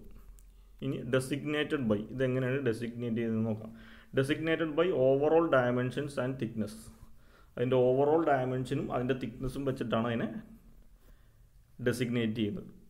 അതിന്റെ ഒരു എക്സാമ്പിൾ നോക്കാം. Twenty by twenty by three എന്ന് വെച്ചാൽ അതിന്റെ അർത്ഥം ട്വന്റി ആദ്യത്തെ ട്വന്റി എന്ന് പറഞ്ഞാൽ അതിന്റെ ഓവറോൾ ഡെപ്ത് ആണ്. അടുത്ത ട്വന്റി എന്ന് പറഞ്ഞാൽ അതിന്റെ ഓവറോൾ വിഡ്ത്ത് ആണ്. അടുത്ത ത്രീ എം എം എന്ന് പറഞ്ഞാൽ ഇതിന്റെ തിക്നെസ് ആണ്. മുകളിലത്തെ തിക്നെസ്സും സെയിം തന്നെ ആയിരിക്കും. അപ്പോൾ ആ രീതിയിലാണ് നമ്മൾ അതിനെ ഡെസിഗ്നേറ്റ് ചെയ്യുന്നത്. ഇനി അതിന്റെ സൈസ് ഏതൊക്കെ വരെ അവൈലബിൾ ആണ്? മിനിമം സൈസ് എന്ന് വെച്ചാൽ ട്വന്റി ബൈ ട്വന്റി ബൈ ത്രീയും maximum size one fifty by one fifty by ten m m സൈസിലും available ആണ്. ഇതിന്റെ യൂസസ് എന്തൊക്കെയാണെന്ന് steel roof truss member built up section ഇപ്പോൾ നമുക്ക് രണ്ട് യൂസസ് ആണ് കോണായിട്ട് വരുന്നത്. ഒന്ന് നമ്മുടെ റൂഫ് വർക്കിന് സ്റ്റീൽ റൂഫ് വർക്കിന് യൂസ് ചെയ്യാം. രണ്ടാമത് ബിൽട്ടപ്പ് സെക്ഷൻ ബിൽട്ടപ്പ് സെക്ഷൻ എന്ന് വെച്ചാൽ ഒന്നീ കൂടുതൽ മെമ്പേഴ്സുമായിട്ട് കണക്ട് ചെയ്ത് കണക്ട് ചെയ്ത് നമ്മളൊരു സ്ട്രക്ചർ കൺസ്ട്രക്ട് ചെയ്യുന്നതിനാണ് ബിൽട്ടപ്പ് സെക്ഷൻ എന്ന് പറയുന്നത്. ഇനി അടുത്തത് നമ്മൾ നേരത്തെ പറഞ്ഞ steel rolled steel T section പല ടൈപ്പിൽ അവൈലബിൾ ആണ്. അതിന്റെ ഡെസിഗ്നേഷൻ പല പേരുകളിലാണ് അവൈലബിൾ ആയിട്ടുള്ളത്. അതിനെ നമ്മൾ ഇന്ത്യൻ സ്റ്റാൻഡേർഡ് നോർമൽ ടി എന്ന് പറയും. I N I S N T എന്ന് പറയും. ഇന്ത്യൻ സ്റ്റാൻഡേർഡ് ഹെവി ടി എന്ന് പറയും. ഐ എസ് എച്ച് ടി എന്ന് പറയും. ഇന്ത്യൻ സ്റ്റാൻഡേർഡ് ഷോർട്ട് ടി അതായത് I S S T Indian standard junior T I S J T അപ്പോൾ ഇതാണ് ടി സെക്ഷന്റെ ഫർദർ ക്ലാസിഫിക്കേഷൻ ടി സെക്ഷനെ നമ്മൾ നോർമലി പറയുന്നതല്ലാതെ അതിന്റെ ഫർദർ ക്ലാസിഫിക്കേഷൻ ഓക്കെ അപ്പോൾ ഇതാണ് അതിന്റെ ഫിഗർ എന്ന് പറഞ്ഞാൽ ഇതേപോലത്തെ സ്റ്റീൽ സെക്ഷൻസ് ആണ് ടി സെക്ഷൻ എന്ന് ഉദ്ദേശിക്കുന്നത്. ഇനി അടുത്തത് ഒമ്പതാമത്തത് rolled steel channel section rolled steel channel section channel എന്ന് പറയുമ്പോൾ ഈ രീതിയിലായിരിക്കും വരുന്നത്. ഇപ്പുറത്തെ സൈഡിലേക്കും ചാനൽ എന്ന് പറയും. It consist of a web and two equal flanges അപ്പോൾ അതിന്റെ ഫിഗർ നമുക്ക് ആദ്യം നോക്കാം. ഈ കാണുന്നതാണ് അതിന്റെ വെബ് വെർട്ടിക്കലിനെയാണ് നമ്മൾ വെബ് എന്ന് പറയുന്നത്. ഇതാ മുകളിലൊരു ഫ്ലാഞ്ച് ഉണ്ട് താഴെ ഒരു ഫ്ലാഞ്ച് ഉണ്ട്. ഈ ഫ്ലാഞ്ചുകൾ രണ്ടും ഈക്വൽ ലെങ്ത്തിലായിരിക്കണം ഇതൊരു ഫ്ലാഞ്ചാണ് ഇനി ഇത് തമ്മിൽ ചെറിയൊരു കർവ് കർവ് വെച്ചിട്ടാണ് കണക്ട് ചെയ്യുന്നത്. അതിനാണ് ഫില്ലറ്റ് എന്ന് പറയുന്നത്. അതായത് ഫ്ലാഞ്ചും വെബും തമ്മിൽ നമ്മൾ ഷാർപ്പായിട്ടല്ല ചെറിയൊരു കർവ് വെച്ചിട്ടാണ് അതിനെ കണക്ട് ചെയ്തേക്കുന്നത്. അതിനാണ് ഫില്ലറ്റ് എന്ന് പറയുന്നത്. ഇനി ഇതിനെ നമ്മൾ ഡയമെൻഷനായിട്ട് പറയുന്നത് ഇതിന്റെ ഓവറോൾ ഡെപ്ത്ത് അതിന്റെ ഓവറോൾ വിഡ്ത്ത് ബി ഓക്കെ അപ്പോൾ it is designated by height of web and width of flange ഇപ്പോൾ ചാനൽ സെക്ഷനെ ഡെസിഗ്നേറ്റ് ചെയ്തത് ഹൈറ്റ് ബൈ വിഡ്ത്താണ് അപ്പോൾ അതിന്റെ ഒരു എക്സാമ്പിൾ പറഞ്ഞിട്ടുണ്ടെങ്കിൽ ഇപ്പോൾ channel section of hundred m m by forty five m m എന്ന് വെച്ചാൽ അതിന്റെ height for hundred m m width ഫ്ലാഞ്ചിന്റെ width forty five m m ആയിരിക്കും. ഇനി അതിന്റെ സൈസസ് അവൈലബിൾ ഏതൊക്കെയാണെന്ന് നോക്കാം. Available in sizes varying from hundred M M by forty M M to four hundred by hundred M M നമ്മൾ എവിടെയൊക്കെയാണ് use ചെയ്യുന്നത് നോക്കാം. Columns and beams steel കോളംസും സ്റ്റീൽ ബീംസിന്റെയും കൺസ്ട്രക്ഷന് വേണ്ടിയിട്ടാണ് നമ്മളിത് യൂസ് ചെയ്യുന്നത്. ഇനി അടുത്തത് റോൾഡ് സ്റ്റീൽ ചാനൽ സെക്ഷൻ തന്നെ പല പേരിൽ ക്ലാസിഫൈ ചെയ്തിട്ടുണ്ട്. നമ്മൾ ടി സെക്ഷൻ പറഞ്ഞ പോലെ റോൾഡ് സ്റ്റീൽ ചാനൽ സെക്ഷനെയും പല പേരിൽ ക്ലാസിഫൈ ചെയ്തിട്ടുണ്ട്. Number one Indian standard junior channels I S J C എന്ന് പറയും. Indian standard light channels I S L C എന്ന് പറയും. Indian standard medium channels I S M C എന്ന് പറയും. Indian standard special channels I S S C എന്ന് പറയും. ഈ പേരുകളൊക്കെ ഇമ്പോർട്ടന്റ് ആണ് പഠിച്ചേക്കുക. ഇപ്പോൾ ചാനൽ സെക്ഷന്റെ റിയലിസ്റ്റിക് ഫിഗറാണ് ഈ കാണുന്നത്. ഇപ്പോൾ നിങ്ങൾക്ക് ഇപ്പോൾ നമ്മുടെ ഇലക്ട്രിക് പോസ്റ്റുകൾ വലിയ ഇലക്ട്രിക് ടവേഴ്സൊക്കെ കാണത്തില്ലേ? അപ്പോൾ അതിന്റെ അകത്ത് ഇതുപോലത്തെ മെമ്പേഴ്സൊക്കെ കാണാം. സ്റ്റീൽ മെമ്പേഴ്സ് അതിനൊക്കെയാണ് നമ്മൾ ഈ ചാനൽ സെക്ഷൻ എന്ന് പറയും ഇനി അടുത്ത tenth one rolled steel I section I എന്ന് പറയുമ്പോൾ അതാ നമ്മുടെ ആൽഫബറ്റിലെ ഐ ഐ സെക്ഷൻ അതിനെ തന്നെ നമ്മൾ ബീം സെക്ഷൻ എന്നും പറയാറുണ്ട് റോൾഡ് സ്റ്റീൽ ജോയിസ്റ്റ് എന്നും പറയാറുണ്ട്. അപ്പോൾ ആദ്യം തന്നെ നമുക്ക് അതിന്റെ ഫിഗർ നോക്കാം. അപ്പോൾ ഇതിന്റെ പ്രത്യേകത ഈ നടുക്ക് കാണുന്ന ഈ പോ പോർഷനാണ് വെബ്. മുകളിൽ ഒരു ഫ്ലാഞ്ച് ഉണ്ടാവും. താഴെയും ഒരു ഫ്ലാഞ്ച് ഉണ്ടാവും. ഇതതിന്റെ ഡെപ്താണ് ഇതതിന്റെ വിട്ടാണ് ഓക്കെ അപ്പോൾ ഇതിനെ നോക്കിക്കേ. ഒന്ന് രണ്ട് രണ്ട് ഫ്ലാഞ്ചും നടുക്ക് ഒരു വെബുമാണ് ഉള്ളത്. It consist of two flanges connected by a web designated by overall depth and width of flange അപ്പോൾ ഇതിനെ ഡെസിഗ്നേറ്റ് ചെയ്യുന്നത് ഓവറോൾ ഡെപ്തും വിഡ്ത്തും വെച്ചിട്ടാണ്. അപ്പോൾ ഒരു എക്സാമ്പിൾ പറഞ്ഞാൽ I section of seventy five by fifty എന്ന് പറഞ്ഞാൽ അതിന്റെ അർത്ഥം. അതിന്റെ ഓവറോൾ ഡെപ്ത്ത് സെവന്റി ഫൈവ് ആയിരിക്കും. ഓവറോൾ വിഡ്ത്ത് ഫിഫ്റ്റി ആയിരിക്കും. ഫ്ലാഞ്ചിന്റെ width it is available in sizes varying from seventy five m m by fifty m m to six hundred by two two ten m m strongest and most economical of all section നമ്മൾ ഇതുവരെ പഠിച്ച സെക്ഷനെ വെച്ച് compare ചെയ്യുമ്പോൾ ഏറ്റവും കൂടുതൽ സ്ട്രോങ്ങസ്റ്റും ആണ് most എക്കണോമിക്കലും ആണ് ഈ ഐ സെക്ഷൻ ഇതിന്റെ യൂസസ് എന്ന് വെച്ചാൽ കോളം കൺസ്ട്രക്ട് ചെയ്യാൻ യൂസ് ചെയ്യാറുണ്ട്. പെർലിൻസ് കൺസ്ട്രക്ട് ചെയ്യാൻ യൂസ് ചെയ്യാറുണ്ട്. ഗ്രില്ലേജ് ഫൗണ്ടേഷൻ ഫൗണ്ടേഷന്റെ ക്ലാസിഫിക്കേഷൻ പഠിക്കുമ്പോൾ നമ്മൾ പഠിക്കും ഗ്രില്ലേജ് എന്താണെന്നുള്ളത് അപ്പോൾ ഈ മൂന്നെണ്ണമാണ് ഈ ഒരു ഐ സെക്ഷന്റെ മെയിൻ ആയിട്ടുള്ള യൂസസ് ഇനി നേരത്തെ പോലെ തന്നെ ഐ സെക്ഷനെ നമ്മൾ ഫർദർ നാല് അഞ്ചായിട്ട് ക്ലാസിഫൈ ചെയ്തിട്ടുണ്ട്. അതിന്റെ ഡിഫറെന്റ് ടൈപ്സ് ഏതൊക്കെയാണെന്ന് നോക്കാം. Number one Indian standard junior beam രണ്ടാമത് Indian standard light beam Indian standard medium beam Indian standard wide flange beam Indian standard heavy beam ഇതാണ് അതിന്റെ ഫിഗർ ഈ ഒരു ഷേപ്പ് നിങ്ങൾ കോമൺ ആയിട്ട് കാണുന്നത് നമ്മുടെ റെയിൽവേ റെയിൽവേ ട്രാക്ക് ഏകദേശം ഇതാണ്. ഇതിന്റെ മുകളിലാണ് നമ്മുടെ ആ റെയിൽവേയുടെ വീൽ ഓടുന്നത്. റെയിൽവേ ട്രാക്കിന്റെ രണ്ട് ട്രാക്കുകളും ഐ സെക്ഷൻ വെച്ചിട്ടാണ്. ഏറ്റവും പെട്ടെന്ന് ഓർക്കാനുള്ളൊരു ഷേപ്പ് അതാണ്.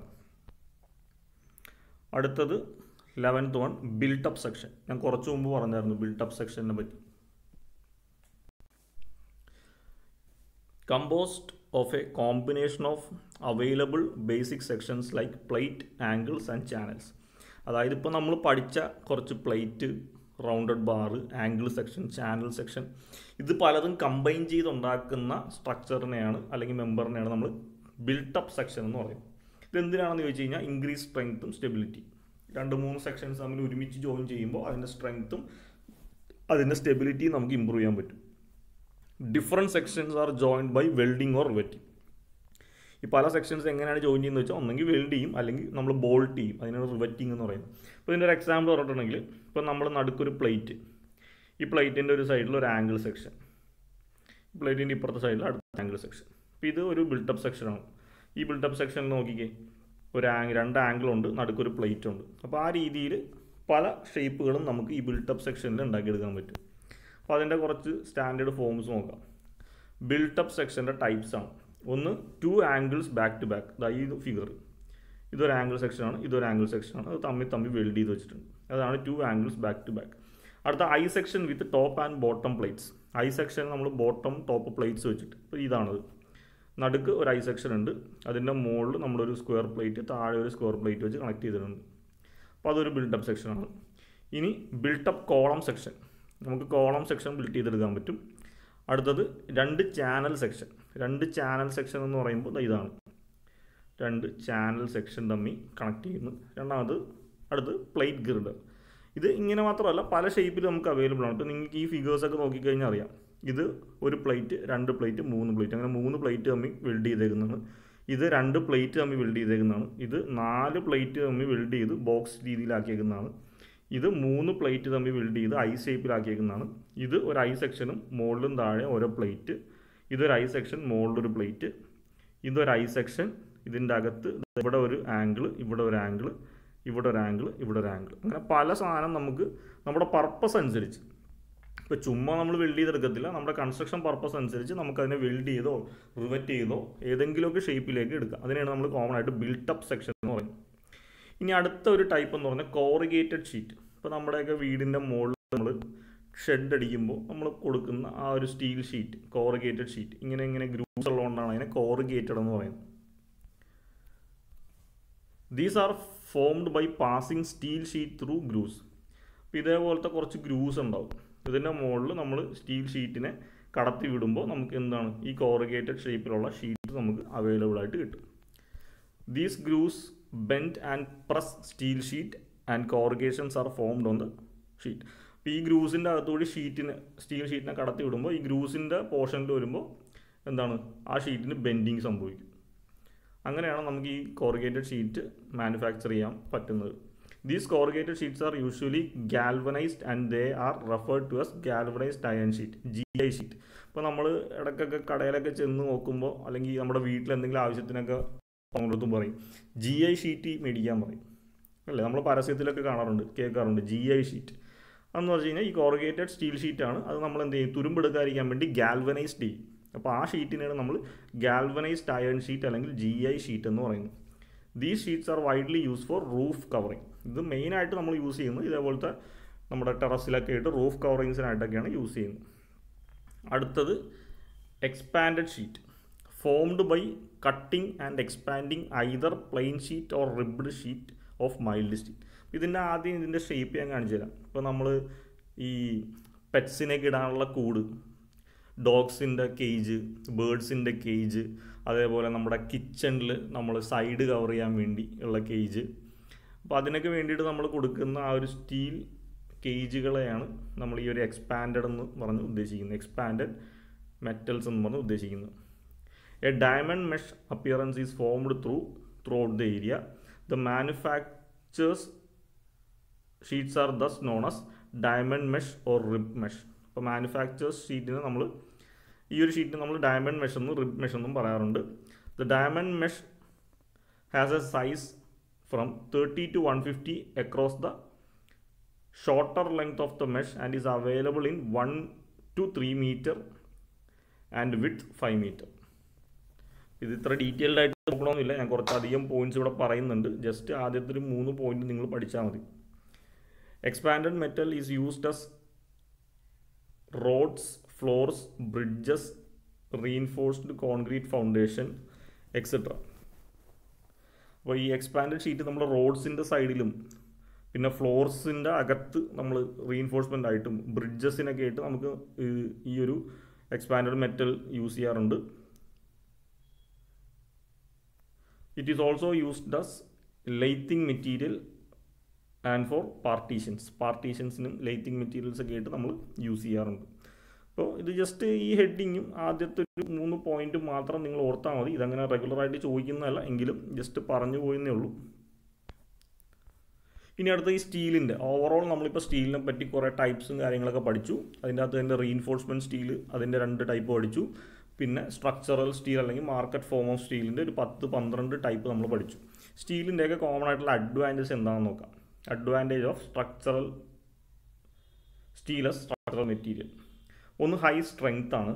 രണ്ടാമത്തത് gas and water tight due to high density steel water ടൈറ്റും ആണ് ഗ്യാസ് ടൈറ്റും ആണ്. അതായത് ഗ്യാസോ വാട്ടറോ ഒന്നും നമ്മൾ പുറത്തേക്ക് കടത്തി വിടില്ല അതുകൊണ്ട് തന്നെ അത് നമുക്ക് നമ്മുടെ കൺസ്ട്രക്ഷൻ പർപ്പസിന് കൂടുതൽ ആപ്രി അപ്ലിക്കബിൾ ആണ്. ലോങ് സർവീസ് ലൈഫ് സ്റ്റീലിന് എന്താണ്? അതിന്റെ ലൈഫ് അല്ലെങ്കിൽ ഡ്യൂറബിലിറ്റി വളരെ കൂടുതലാണ്. Can be used in pre fabricated members because of easily handling fabrication and direction അപ്പോൾ സ്റ്റീലിന് നമുക്ക് പ്രീ ഫാബ്രിക്കേറ്റഡ് മെമ്പേഴ്സിന്റെ കൺസ്ട്രക്ഷൻ യൂസ് ചെയ്യാം. പ്രീ ഫാബ്രിക്കേറ്റഡ് എന്ന് വെച്ചാൽ നമ്മൾ എന്താ പറയുക ഫാക്ടറിയിൽ ഉണ്ടാക്കിയിട്ട് നമ്മൾ സൈറ്റിൽ കൊണ്ടുവന്ന് അസംബിൾ ചെയ്തെടുക്കുക. അതിനെയാണ് പ്രീ ഫാബ്രിക്കേഷൻ എന്ന് പറയുന്നത്. ഇപ്പോൾ നമ്മളിപ്പോൾ മോഡുലാർ കിച്ചൺ എന്നൊക്കെ പറഞ്ഞ് പഠിച്ചിട്ടുണ്ട്. നമ്മുടെ പുതിയ കൺസ്ട്രക്ഷൻ അനുസരിച്ച് നമുക്ക് സ്റ്റീൽ വിൻഡോ സ്റ്റീൽ ഡോറ് പിന്നെ കിച്ചണിലുള്ള സ്റ്റീൽ അലമാര അതൊക്കെ എന്താ നമ്മൾ ചെയ്യുന്നത് ഇതൊക്കെ നമ്മൾ ഫാക്ടറിയിൽ മാനുഫാക്ചർ ചെയ്തിട്ട് ശരിക്കും നമ്മൾ നമ്മുടെ സൈറ്റിൽ കൊണ്ടുവന്നിട്ട് എന്താ നട്ടും ബോൾട്ടും ഇട്ട് മുറുക്കി അസംബിൾ ചെയ്ത് വെക്കുന്നേ ഉള്ളൂ. അതിനെയാണ് നമ്മൾ അതിന്റെ ഫാബ്രിക്കേഷൻ ഇറക്ഷൻ എന്നൊക്കെ പറയുന്നത്. റെഡിലി ഡിസ്മാൻഡിൽഡ് ആൻഡ് റിപ്ലേസ് നമുക്ക് പെട്ടെന്ന് തന്നെ അതിനെ ഡിസ്മാൻഡിൽ ചെയ്യാം റിപ്ലേസ് ചെയ്യാം. അതായത് ഇപ്പോൾ നമ്മൾ ഈ നട്ടും ബോൾട്ടും ഒക്കെ ഇട്ട് മുറുക്കിയെടുക്കുന്നതാണ് സ്റ്റീൽ സ്ട്രക്ചർ വെൽഡ് ചെയ്തെടുക്കുന്നത്. ഇപ്പോൾ നമുക്കതിപ്പോൾ കുറച്ച് നാൾ കഴിയുമ്പോൾ അത് അവിടെ വേണ്ടാന്ന് തോന്നുവാണെങ്കിൽ നമുക്കതിനെ എന്താ പറയുക അഴിച്ച് ഡിസ്മാൻഡിൽ ചെയ്ത് മാറ്റി വേറെ എവിടെയെങ്കിലും കൊണ്ട് മാറ്റി വെക്കാൻ പറ്റും. ഇത്രയാണ് അതിന്റെ മെയിൻ ആയിട്ടുള്ള അഡ്വാന്റേജ് വരുന്നത്. ഇനി സ്റ്റീലിന്റെ കുറച്ച് ഡിസഡ്വാന്റേജ് നോക്കാം. ഒന്ന് കോസ്റ്റ്ലിയാണ് സ്റ്റീൽ കോൺക്രീറ്റിനൊക്കെ അപേക്ഷിച്ച് വളരെ കോസ്റ്റ്ലിയാണ് low fire resistance fire resisting property വളരെ കുറവാണ്. സസെപ്റ്റബിൾ ടു കൊറോഷൻ അതായത് പെട്ടെന്ന് കൊറോഷൻ സംഭവിക്കും. കൊറോഷൻ എന്ന് വെച്ചാൽ എന്താണ്? തുരുമ്പെടുക്കാനുള്ള ചാൻസ് സ്റ്റീലിന് കമ്പാരിറ്റീവ്ലി കൂടുതലാണ്. ഓക്കെ അപ്പോൾ നമ്മൾ ഈ ഒരു ലെക്ചർ വൈൻഡപ്പ് ചെയ്യുവാണ്. അപ്പോൾ നമ്മൾ ഈ ലെക്ചർ സ്റ്റീലാണ് പറഞ്ഞത്. കുറച്ച് ലെങ്തി ആയി പോയി ലെക്ചർ പക്ഷേ ഇതിന്റെ അകത്ത് പറഞ്ഞതൊക്കെ നമുക്ക് ആവശ്യമുള്ള ടോപ്പിക്സ് തന്നെയാണ്. ഇതൊന്നും നിങ്ങൾ ഇത്രയും ഡീറ്റെയിൽഡായിട്ട് പഠിക്കണമെന്നില്ല. അപ്പോൾ നമുക്ക് യൂണിവേഴ്സിറ്റി എക്സാംസിന് ചോദിക്കാൻ സാധ്യതയുള്ള രണ്ട് മൂന്ന് ക്വസ്റ്റ്യൻ ഞാൻ പറഞ്ഞുതരാം. ഒന്ന് mild steel medium carbon steel high carbon steel തമ്മിലുള്ള ഡിഫറൻസ് അതിന്റെ ഒരു ക്വസ്റ്റ്യൻ ചോദിക്കാം. അതല്ലെങ്കിൽ റീഇൻഫോഴ്സിങ് സ്റ്റീൽ മൈൽഡ് സ്റ്റീലും എച്ച് ഒ എസ് ടി സ്റ്റീലും അതിനെ ബേസ് ചെയ്തിട്ടുള്ള ഒരു ക്വസ്റ്റ്യൻ ചോദിക്കാം. അതല്ലെങ്കിൽ മാർക്കറ്റ് ഫോംസ് ഓഫ് സ്റ്റീൽ നമ്മളിപ്പോൾ പഠിച്ച പത്ത് പന്ത്രണ്ട് type write a short note on market forms of steel എന്നോ write a short note on structural steel എന്നോ ചോദിക്കാം. അപ്പോൾ നിങ്ങൾ ചെയ്യേണ്ടതെന്ന് പറഞ്ഞാലും എന്തായാലും ഒരു അഞ്ചോ ആറോ മാർക്കിനെ മാക്സിമം ചോദിക്കും. അപ്പോൾ എല്ലാത്തിന്റെയും ഹെഡിങ് പഠിച്ചു വെക്കുക ഇനി ഏതെങ്കിലും ഒരു ആറെണ്ണം മാത്രം ഡീറ്റെയിൽഡ് ആയിട്ട് എക്സ്പ്ലെയിൻ ചെയ്യാൻ പഠിച്ചാൽ മതി. കോമൺ ആയിട്ടാണ് ചോദിക്കുന്നതെങ്കിൽ. പക്ഷെ ചില ക്വസ്റ്റ്യൻ പേപ്പറിൽ അവർ പ്രത്യേകം എടുത്തിട്ട് write short note on I section channel section T section എന്നൊക്കെ പറഞ്ഞ് എടുത്ത് ചോദിക്കും അപ്പം അങ്ങനെ ചോദിക്കുവാണെങ്കിൽ ആ സാധനം കറക്റ്റായിട്ട് ഹെഡിങ്ങും അതിന്റെ ടൈപ്സും അതിന്റെ ഫിഗറും വരച്ച് ഡീറ്റെയിൽ ആയിട്ട് എക്സ്പ്ലെയിൻ ചെയ്യേണ്ടി വരും. ഓക്കെ ഇപ്പോൾ ഓവറോൾ സ്റ്റീലിനെ പറ്റി നമുക്ക് ഇത്രയാണ് പഠിക്കാനുള്ളത്. ഈ ഒരു ലെക്ചർ ഒരു തവണ ശ്രദ്ധിച്ച് കേട്ട് മനസ്സിലാക്കുക. എന്നിട്ട് രണ്ടാമത് നിങ്ങൾ ഇതിന്റെ കൂടെ നോട്ട് എഴുതി പഠിക്കുക. ഓക്കെ ഇതിന്റെ അകത്തുള്ള ഒരു കാര്യവും എലിമിനേറ്റ് ചെയ്ത് വളരെ കുറച്ച് പോയിന്റ്സ് ചെയ്തിട്ടുള്ളൂ. ഇതെല്ലാം നിങ്ങൾക്ക് പഠിക്കാനുള്ളതാണ്. എല്ലാം പഠിക്കാൻ പറ്റിയില്ലെങ്കിലും നിങ്ങൾക്ക് പറ്റുന്ന പോലെ മാർക്കറ്റ് ഫോമിൽ ഒരു ആറെണ്ണം ഡീറ്റെയിൽ ആയിട്ട് പഠിക്കുക. അതിനകത്ത് ഏറ്റവും important I section channel section T section പിന്നെ നമ്മുടെ rolled steel Indian standard bars അതൊക്കെയാണ് ഇമ്പോർട്ടന്റ് ബാക്കി പറഞ്ഞതൊക്കെ ജസ്റ്റ് പേരും ഒന്ന് രണ്ട് വരിയെങ്കിലും പഠിച്ചാൽ മതി. ഓക്കെ അപ്പോൾ ഈ ലെക്ചറിൽ ഇത്രേ ഉള്ളൂ. Thank you